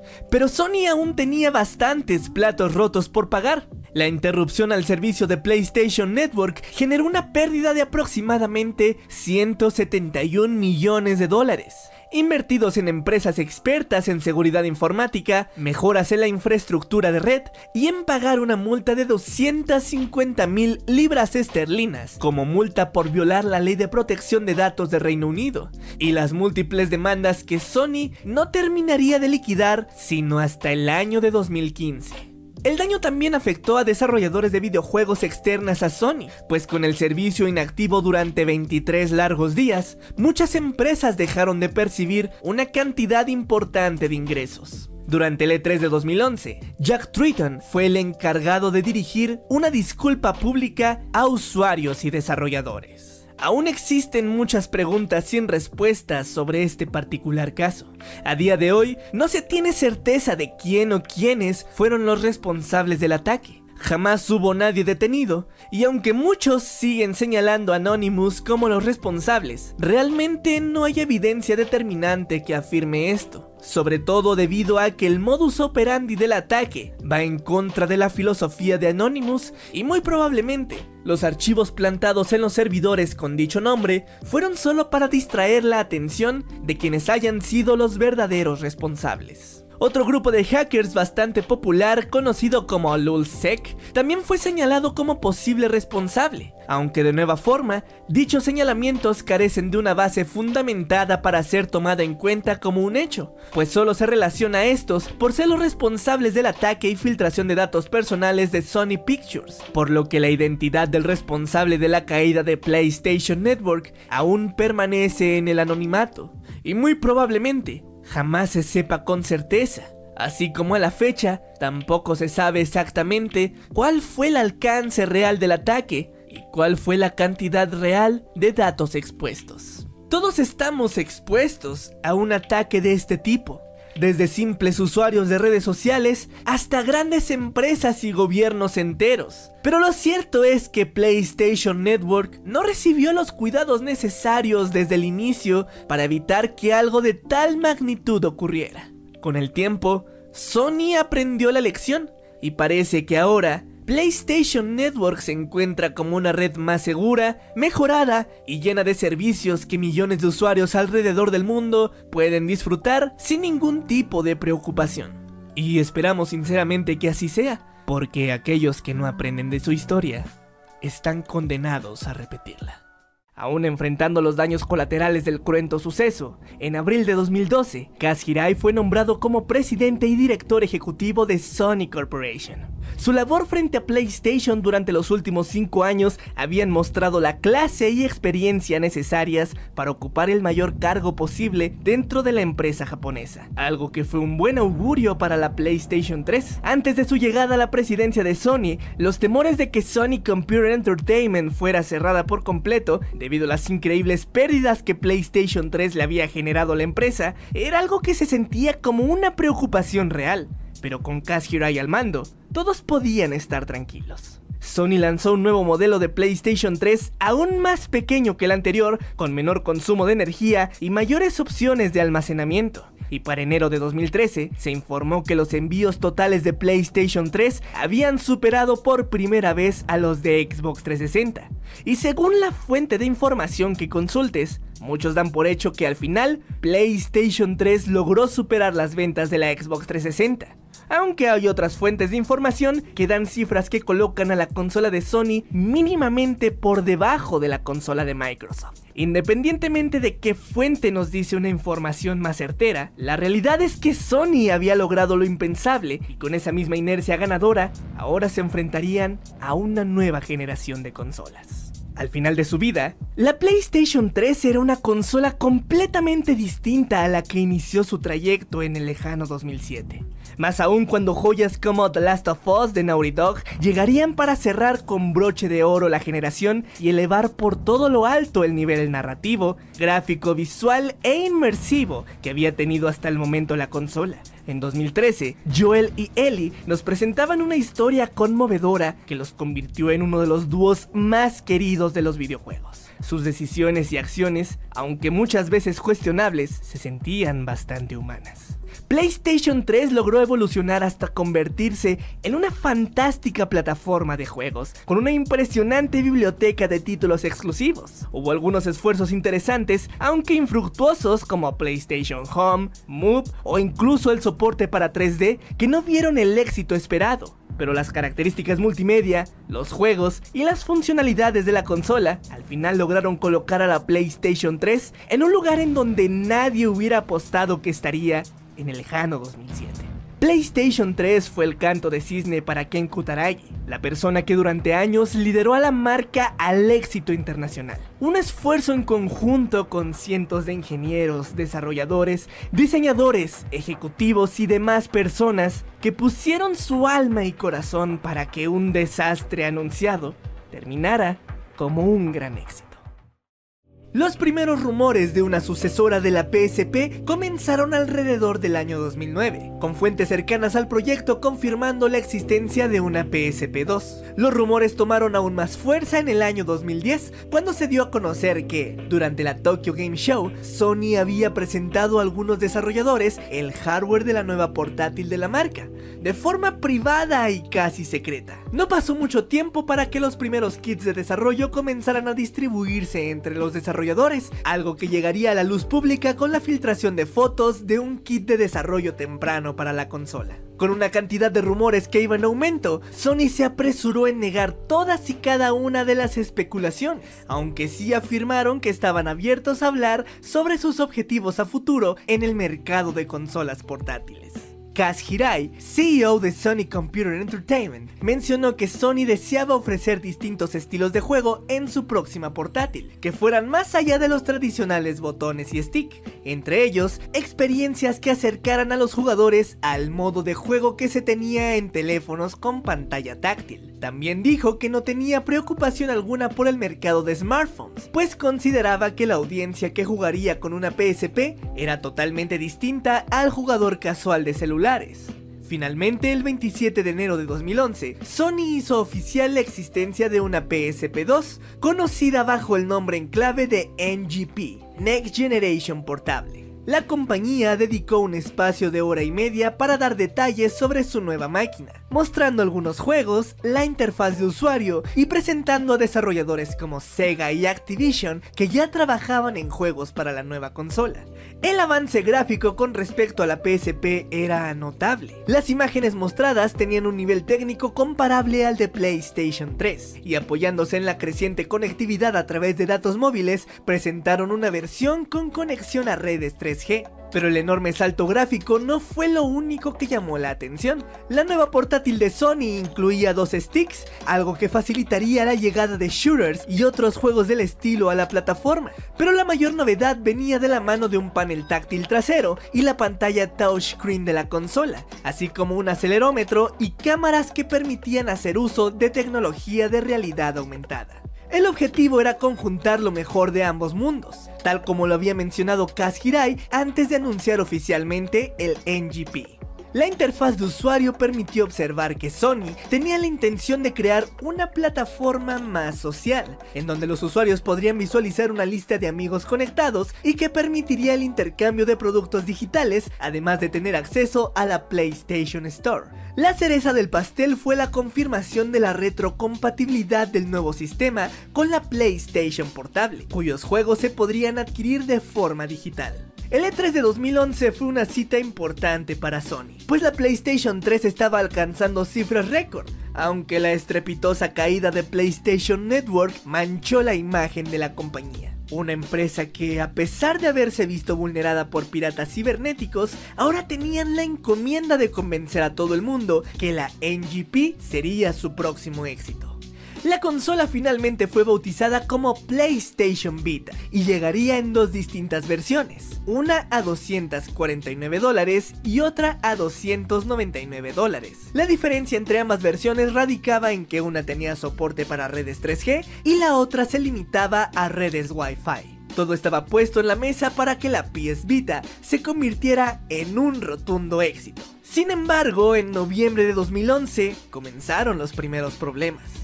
PS Vita no sería compatible con el estándar de almacenamiento SD y en su lugar usaría tarjetas especiales propiedad de Sony, las cuales eran costosas, pero necesarias para una experiencia de juego que exigía instalar o guardar archivos o partidas. Los precios iban desde 20 dólares por una tarjeta de memoria de 4 GB y alcanzaba hasta 100 dólares por una opción de 32 GB de almacenamiento. El uso de tarjetas de memoria propietarias de Sony no cayó nada bien entre los jugadores, pero era un movimiento un tanto obvio por parte de Sony, quienes deseaban tener más control y seguridad en su sistema para poder combatir la piratería, el cual fue uno de los mayores problemas que enfrentó la PSP original. Finalmente la PlayStation Vita se lanzó de forma oficial el 17 de diciembre de 2011 en Japón, acompañada de un catálogo de 26 juegos, una cifra que se convirtió en la mayor cantidad de juegos de lanzamiento disponibles para cualquier consola, al menos hasta ese momento.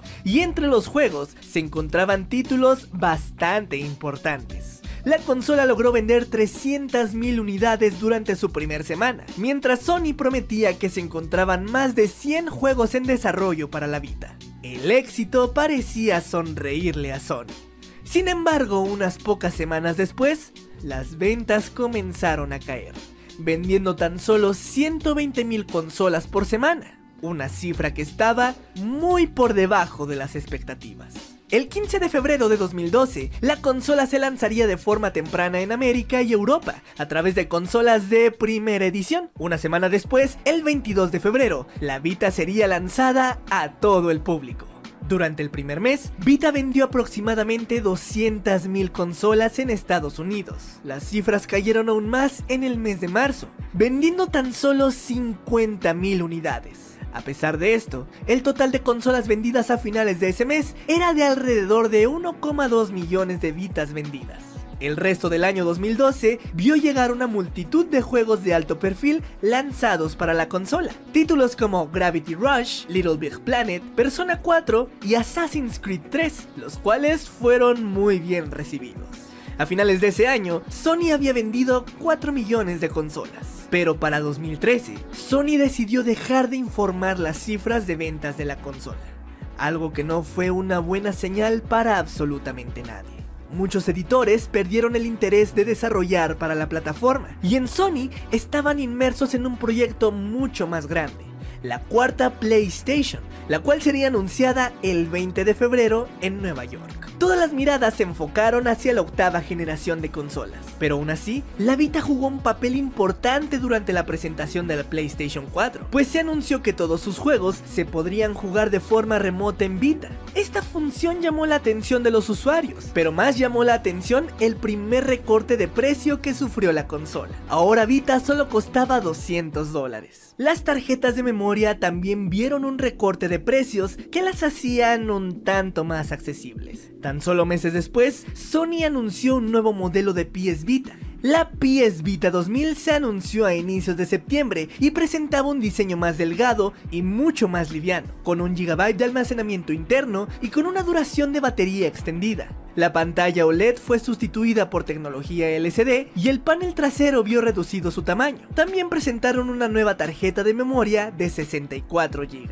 Pero junto a la PS Vita 2000 también se anunció PS Vita TV, una microconsola que se conectaba a la televisión y ejecutaba el sistema operativo de la PS Vita, para poder jugar títulos de la consola portátil con un DualShock 3. PS Vita TV tendría un precio de 100 dólares y tenía como objetivo conquistar los mercados asiáticos con un precio de entrada económico, ofreciendo también la posibilidad de visualizar servicios de streaming. PS Vita TV no solo fue anunciado como una alternativa a la misma PS Vita, sino también funcionaba como un complemento perfecto para la PlayStation 4, ya que también permitía el juego remoto que la PS Vita original ofrecía. Con el lanzamiento de la PlayStation 4 y su inmediato éxito, PS Vita comenzó a pasar por un cambio de rumbo bastante interesante, pues cada vez llegaban menos juegos de compañías grandes, pero los desarrolladores independientes lograron encontrar en la nueva portátil de Sony un lugar donde lanzar sus juegos. Suhei Yoshida, director de Sony Worldwide Studio, confirmó que la compañía lanzaría menos juegos propios para la Vita y que el enfoque ahora estaría en apoyar la producción de juegos independientes. Para mayo de 2014, Sony mencionó que los juegos AAA, los juegos importantes, aquellos que venden consolas, ya no funcionaban en Vita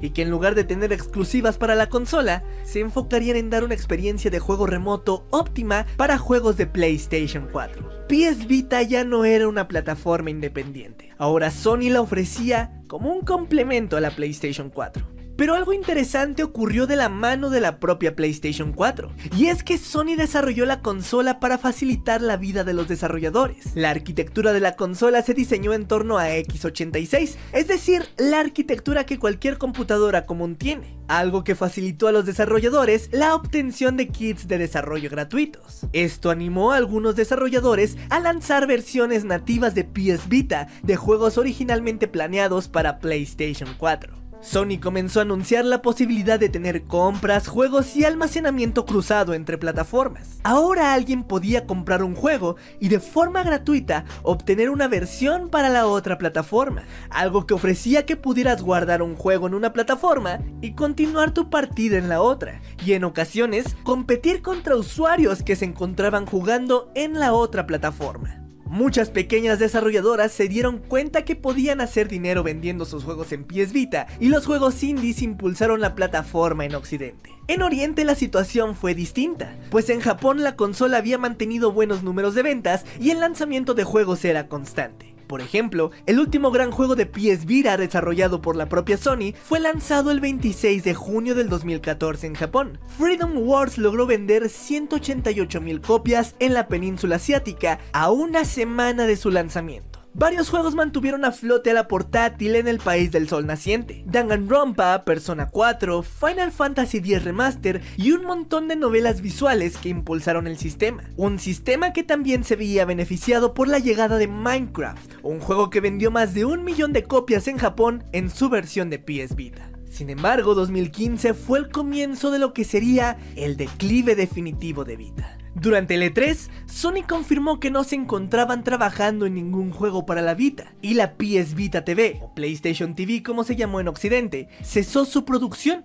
Y aunque en Japón el ritmo de lanzamientos de juegos se mantuvo igual durante 2015, la plataforma se estaba desvaneciendo lentamente. Muchos editores habían abandonado el barco hace tiempo, y Sony comenzó a cerrar muchos de los servicios en línea de la Vita, como las aplicaciones sociales y PlayStation Mobile para septiembre de 2015, en el marco de la celebración del 20 aniversario de PlayStation. Suhei Yoshida fue cuestionado sobre los planes de una sucesora de Vita. La respuesta de Yoshida vino acompañada de un rotundo no. PlayStation no tenía más planes de seguir en el mercado portátil, pues pensaban que el mercado había cambiado bastante y los teléfonos celulares habían acaparado toda la atención de este. Para la E3 de 2016, Sony hizo nula mención de Vita y se enfocaron en totalidad a su exitosa PlayStation 4 y a su entrada al mundo de la realidad virtual.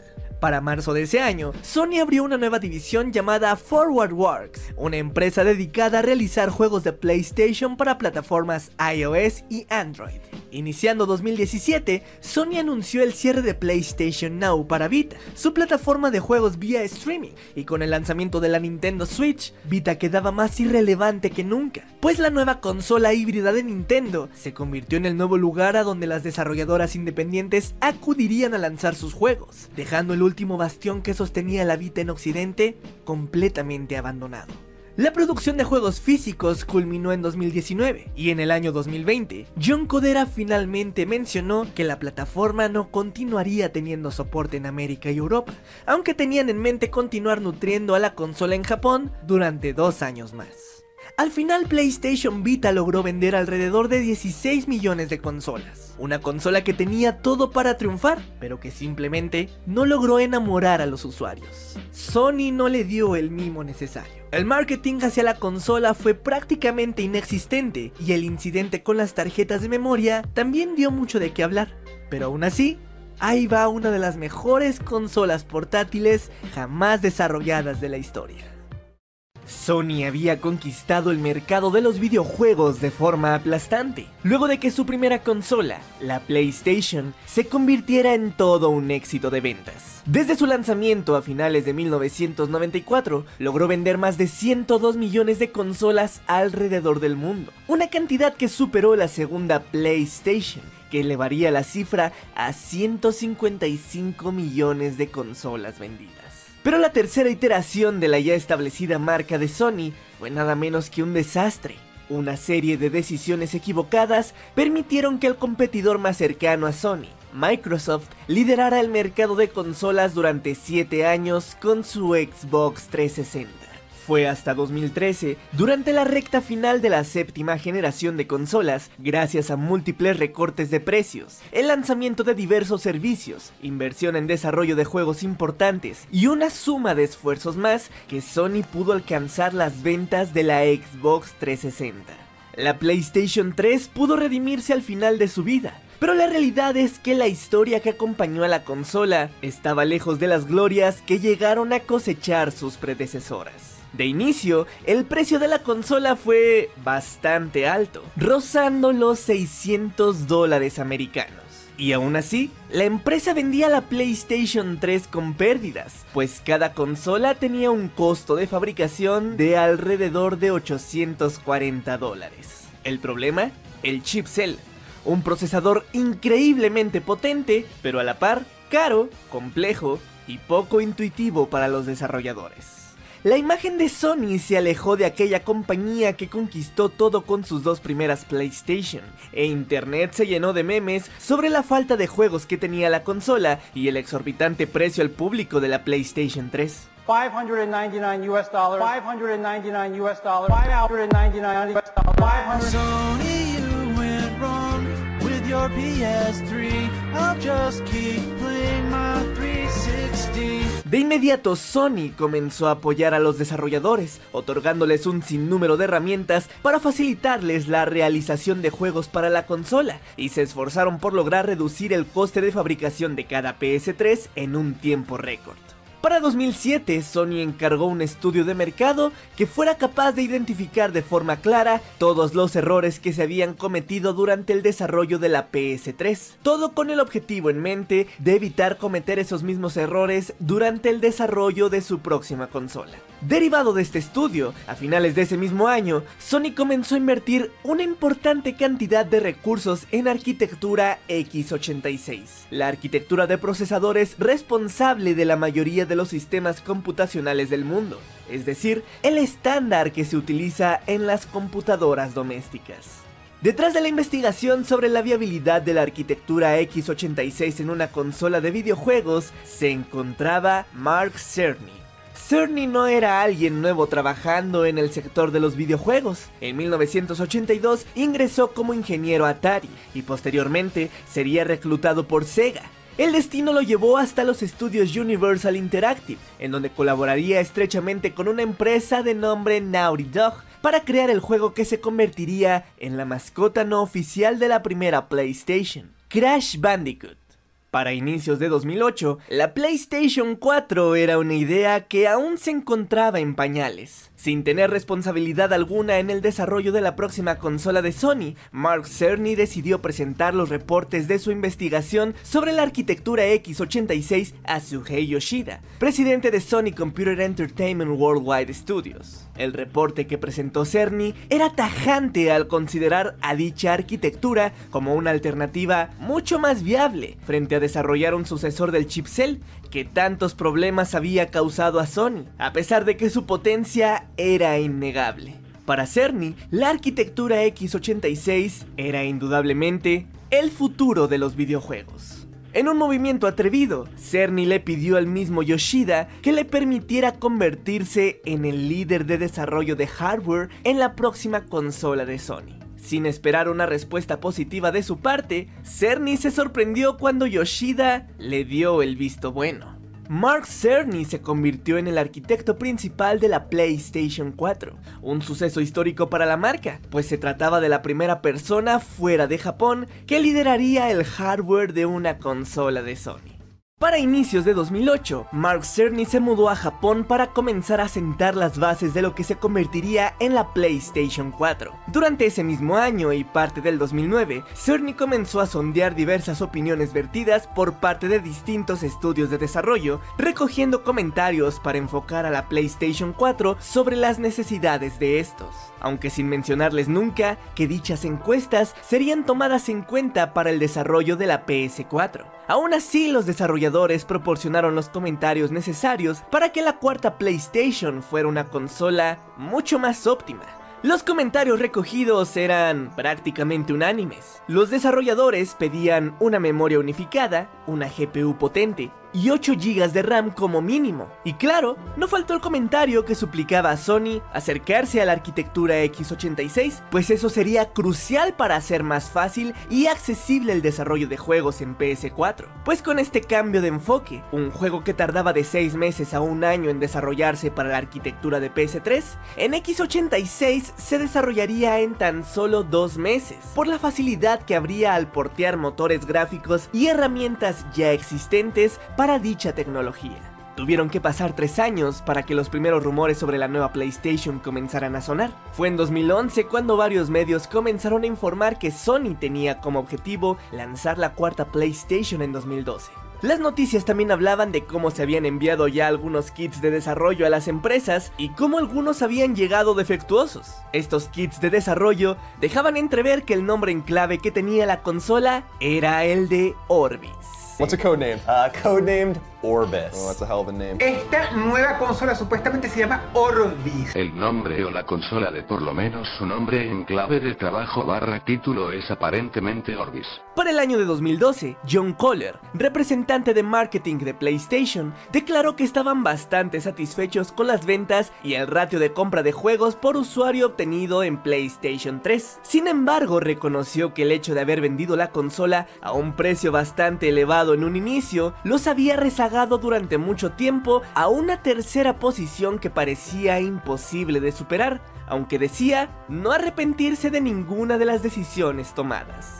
La recta final de la tercera consola de Sony fue totalmente distinta a la que inició su trayecto en aquel lejano 2007, más aún cuando joyas como The Last of Us de Naughty Dog llegarían al final de la vida útil de la consola para elevar por todo lo alto el nivel narrativo, gráfico, visual e inmersivo que había tenido hasta el momento la consola. La cuarta PlayStation se hizo esperar más de lo deseado. Fue hasta el año 2013 cuando Sony comenzó a repartir invitaciones a la prensa especializada para que el 20 de febrero asistieran a un evento en la ciudad de Nueva York donde mostrarían al mundo el futuro de PlayStation. El ansiado día llegó y Sony presentó en un evento que duró casi dos horas todos los planes que tenían para la PlayStation 4 y cómo esta cambiaría la forma en la que la gente hace y juega videojuegos. Mark Cerny subió al escenario para compartir las especificaciones de hardware que llevaba la nueva PlayStation en su interior. Además mostró al mundo un nuevo y mejorado DualShock, la cuarta versión del controlador que significó el primer rediseño importante en toda la historia de PlayStation. Claro, sin contar aquel extraño prototipo de boomerang que alguna vez mostraron para la PlayStation 3. El nuevo DualShock tendría una barra de luz que sería útil para su reconocimiento en cámara y un panel táctil como un nuevo método de entrada que podrían aprovechar de múltiples formas los desarrolladores de videojuegos. Al DualShock 4 también se le añadieron botones con un enfoque social, como el botón de compartir, dedicado exclusivamente a tomar capturas de pantalla y videos para compartirlos fácilmente a redes sociales. La mayor alegría por parte del público asistente vino cuando Mark Cerny mencionó que la PlayStation 4 estaba diseñada en arquitectura x86 contando con 8 GB de RAM. Para mayor sorpresa, Mark Cerny reveló que por primera vez estaba dirigiendo su primer videojuego, de nombre Knack, el cual se convirtió en el primer videojuego de PlayStation 4 mostrado al mundo. Durante la conferencia se mostró la interfaz de usuario de la PlayStation 4, una nueva y mejorada interfaz que sería esencial para aprovechar la conectividad con la consola portátil de Sony, la PS Vita. Se confirmó que ambas consolas habían sido diseñadas en conjunto y que tendrían capacidades de juego vía remota. El resto de la presentación estuvo llena de anuncios de juegos importantes desarrollados por la propia PlayStation, con Quantic Dream mostrando algunas demos técnicas que dejaron boquiabiertos a los asistentes, y por supuesto, con un buen número de compañías de terceros apareciendo para anunciar su apoyo a la nueva consola de Sony. Aunque curiosamente, la consola nunca se mostró en absoluto. Cómo luciría la nueva PlayStation era un misterio para todos. Pero aún con ese detalle, la presentación fue recibida de forma muy positiva entre los fanáticos y la prensa especializada. Sony parecía haber aprendido de sus errores y se apuntaba desde el inicio como una excelente opción para la nueva generación de consolas que estaba por comenzar. La pregunta de todos era ahora, ¿qué haría Microsoft para tratar de conservar el trono que la Xbox 360 les había otorgado? Los primeros rumores sobre la sucesora de la Xbox 360 no fueron nada prometedores, ya que todo parecía indicar que Microsoft estaba buscando formas de restringir el uso de juegos de segunda mano. El nombre en código de la próxima Xbox era Durango y finalmente Microsoft la mostró al mundo el 21 de mayo de 2013. El enfoque en dicha presentación se centró en hablar de la Xbox One como un sistema de entretenimiento todo en uno, diseñado para conectar absolutamente todo en la sala de estar. Don Matrix mostró el diseño de la consola y prometió que mostrarían una gran cantidad de juegos exclusivos durante la próxima E3. La presentación de la Xbox One se centró en las capacidades que tenía la consola para reproducir contenido de televisión, la línea de juegos deportivos de EA Sports y las mejoras en el nuevo Kinect. La presentación cerró con el anuncio de la serie de televisión de Halo y un tráiler de Call of Duty Ghost, una presentación que dejó un sabor amargo en gran parte de los jugadores y la prensa. Y eso que lo peor estaba por llegar días después, cuando Microsoft confirmó que la consola necesitaba de una conexión a internet permanente para funcionar. Semanas después, Microsoft también confirmó los rumores. Xbox One bloquearía el uso de juegos de segunda mano. Microsoft se estaba hundiendo a una velocidad sin precedentes, y en Internet el mayor ruido que hacía la consola era el boicot que no pocos usuarios estaban organizando contra la nueva Xbox. Sony se encontraba en una posición privilegiada, completamente opuesta a lo que estaban pasando en 2006 con su PlayStation 3. Ahora lo que tenían que hacer era aprovechar esta situación de la mejor forma posible. Durante la E3 de ese año, Microsoft fue la primera en presentar su conferencia. Los ánimos no eran los mejores. La compañía mostró títulos bastante prometedores y al final anunciaron la fecha de lanzamiento y precio que tendría la Xbox One. Noviembre por 499 dólares. Nada de eso opacó las grandes críticas generadas por las políticas restrictivas que Microsoft había impuesto a la consola. Ese mismo día, horas más tarde, fue el turno de Sony. Comenzaron por hablar de la PlayStation 3 y la PlayStation Vita, y luego de eso, mostraron finalmente el diseño de la PlayStation 4, seguido del anuncio de varios juegos que llegarían para la consola en los próximos meses, incluyendo una gran cantidad de juegos de desarrolladoras independientes. No fue hasta el final de la presentación que todo subió de tono. Jack Tritton confirmó que PlayStation 4 sería una consola normal. Podrían usarse juegos de segunda mano y no necesitarías conectarte permanentemente a internet y el anuncio se hizo de la forma más cómica y sencilla posible. This is how you share your games on PS4.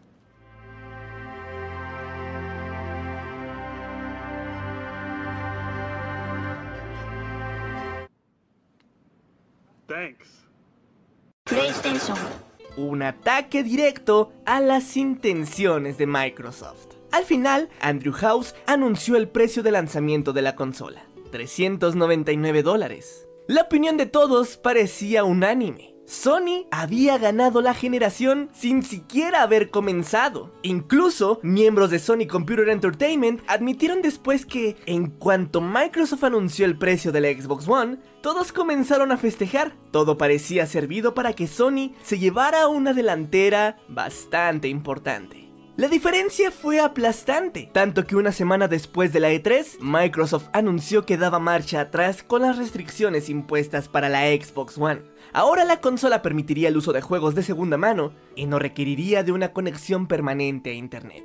Pocos días más tarde, Don Matrix, el responsable de la Xbox One, dejaría Microsoft. Estos anuncios podrían parecer como una luz al final del túnel para Microsoft, pero para muchos ya era demasiado tarde. El enojo contra la compañía de Redmond aún se sentía bastante latente.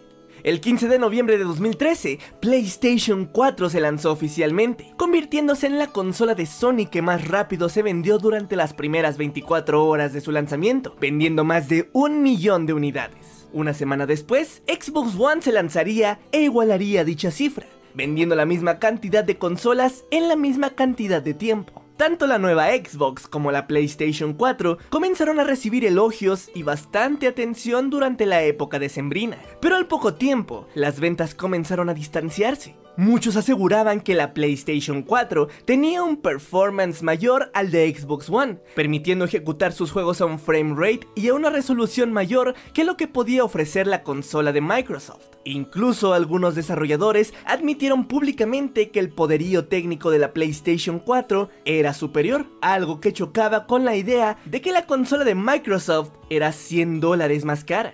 Sony comenzó a hacer asociaciones importantes con compañías de terceros, haciendo una alianza bastante agresiva con Bungie, los padres de Halo, quienes lanzarían su juego multiplataforma Destiny con un enfoque bastante especial para Sony. Las ventas se actualizaron. Sony llevaba al año 4,2 millones de consolas vendidas y Microsoft estaba detrás con 3 millones de consolas. Pero llegaba el año 2014 y todo mundo quería experimentar con la realidad virtual, así que durante la Game Developers Conference de ese año, Sony presentó al público Project Morpheus, un nuevo periférico que prometía ser la próxima innovación de PlayStation. Según el propio Suhei Yoshida, esto no solo sería el futuro de PlayStation, sino de todos los videojuegos. El primer prototipo utilizaba un visor de realidad virtual, una cámara de seguimiento y los controles de PlayStation Move para sumergir completamente a todo el mundo en una realidad virtual plenamente inmersiva. Viajando a la primera E3 con la PlayStation 4 como protagonista, nos enfrentamos ante un catálogo de juegos de ensueño, con el primer adelanto de Uncharted 4, mientras que Bloodborne se robaba las miradas de todos y la promesa de un No Man's Sky sorprendía a propios y extraños, una sensación que cambiaría a una plena decepción en cuanto el juego se lanzó. Para celebrar los 20 años de la marca PlayStation, Sony celebró por primera vez el PlayStation Experience en Las Vegas, donde cientos de fanáticos de la compañía se reunirían para jugar los nuevos juegos que se anunciaron durante el mismo evento. Hubo anuncios importantes como Street Fighter V, Drown to Death y la confirmación de que tanto Yakuza 5 como Persona 5 llegarían a Occidente. Mientras tanto, ese mismo año, Microsoft se dedicó a realizar los ajustes necesarios para tratar de salvar lo mínimo. Phil Spencer tomó cargo como director de Xbox a finales de marzo de 2014, y a las pocas semanas se anunció que se dejaría de lado a Kinect y la consola se empezaría a vender sin este, viendo un recorte de 100 dólares en su precio, igualando por fin al precio de la PlayStation 4. Para finales de 2014, Microsoft actualizó por última vez de forma pública la cifra de ventas de su Xbox One. 10 millones de consolas se habían vendido frente a las 14,4 millones de PlayStation 4 que Sony había colocado.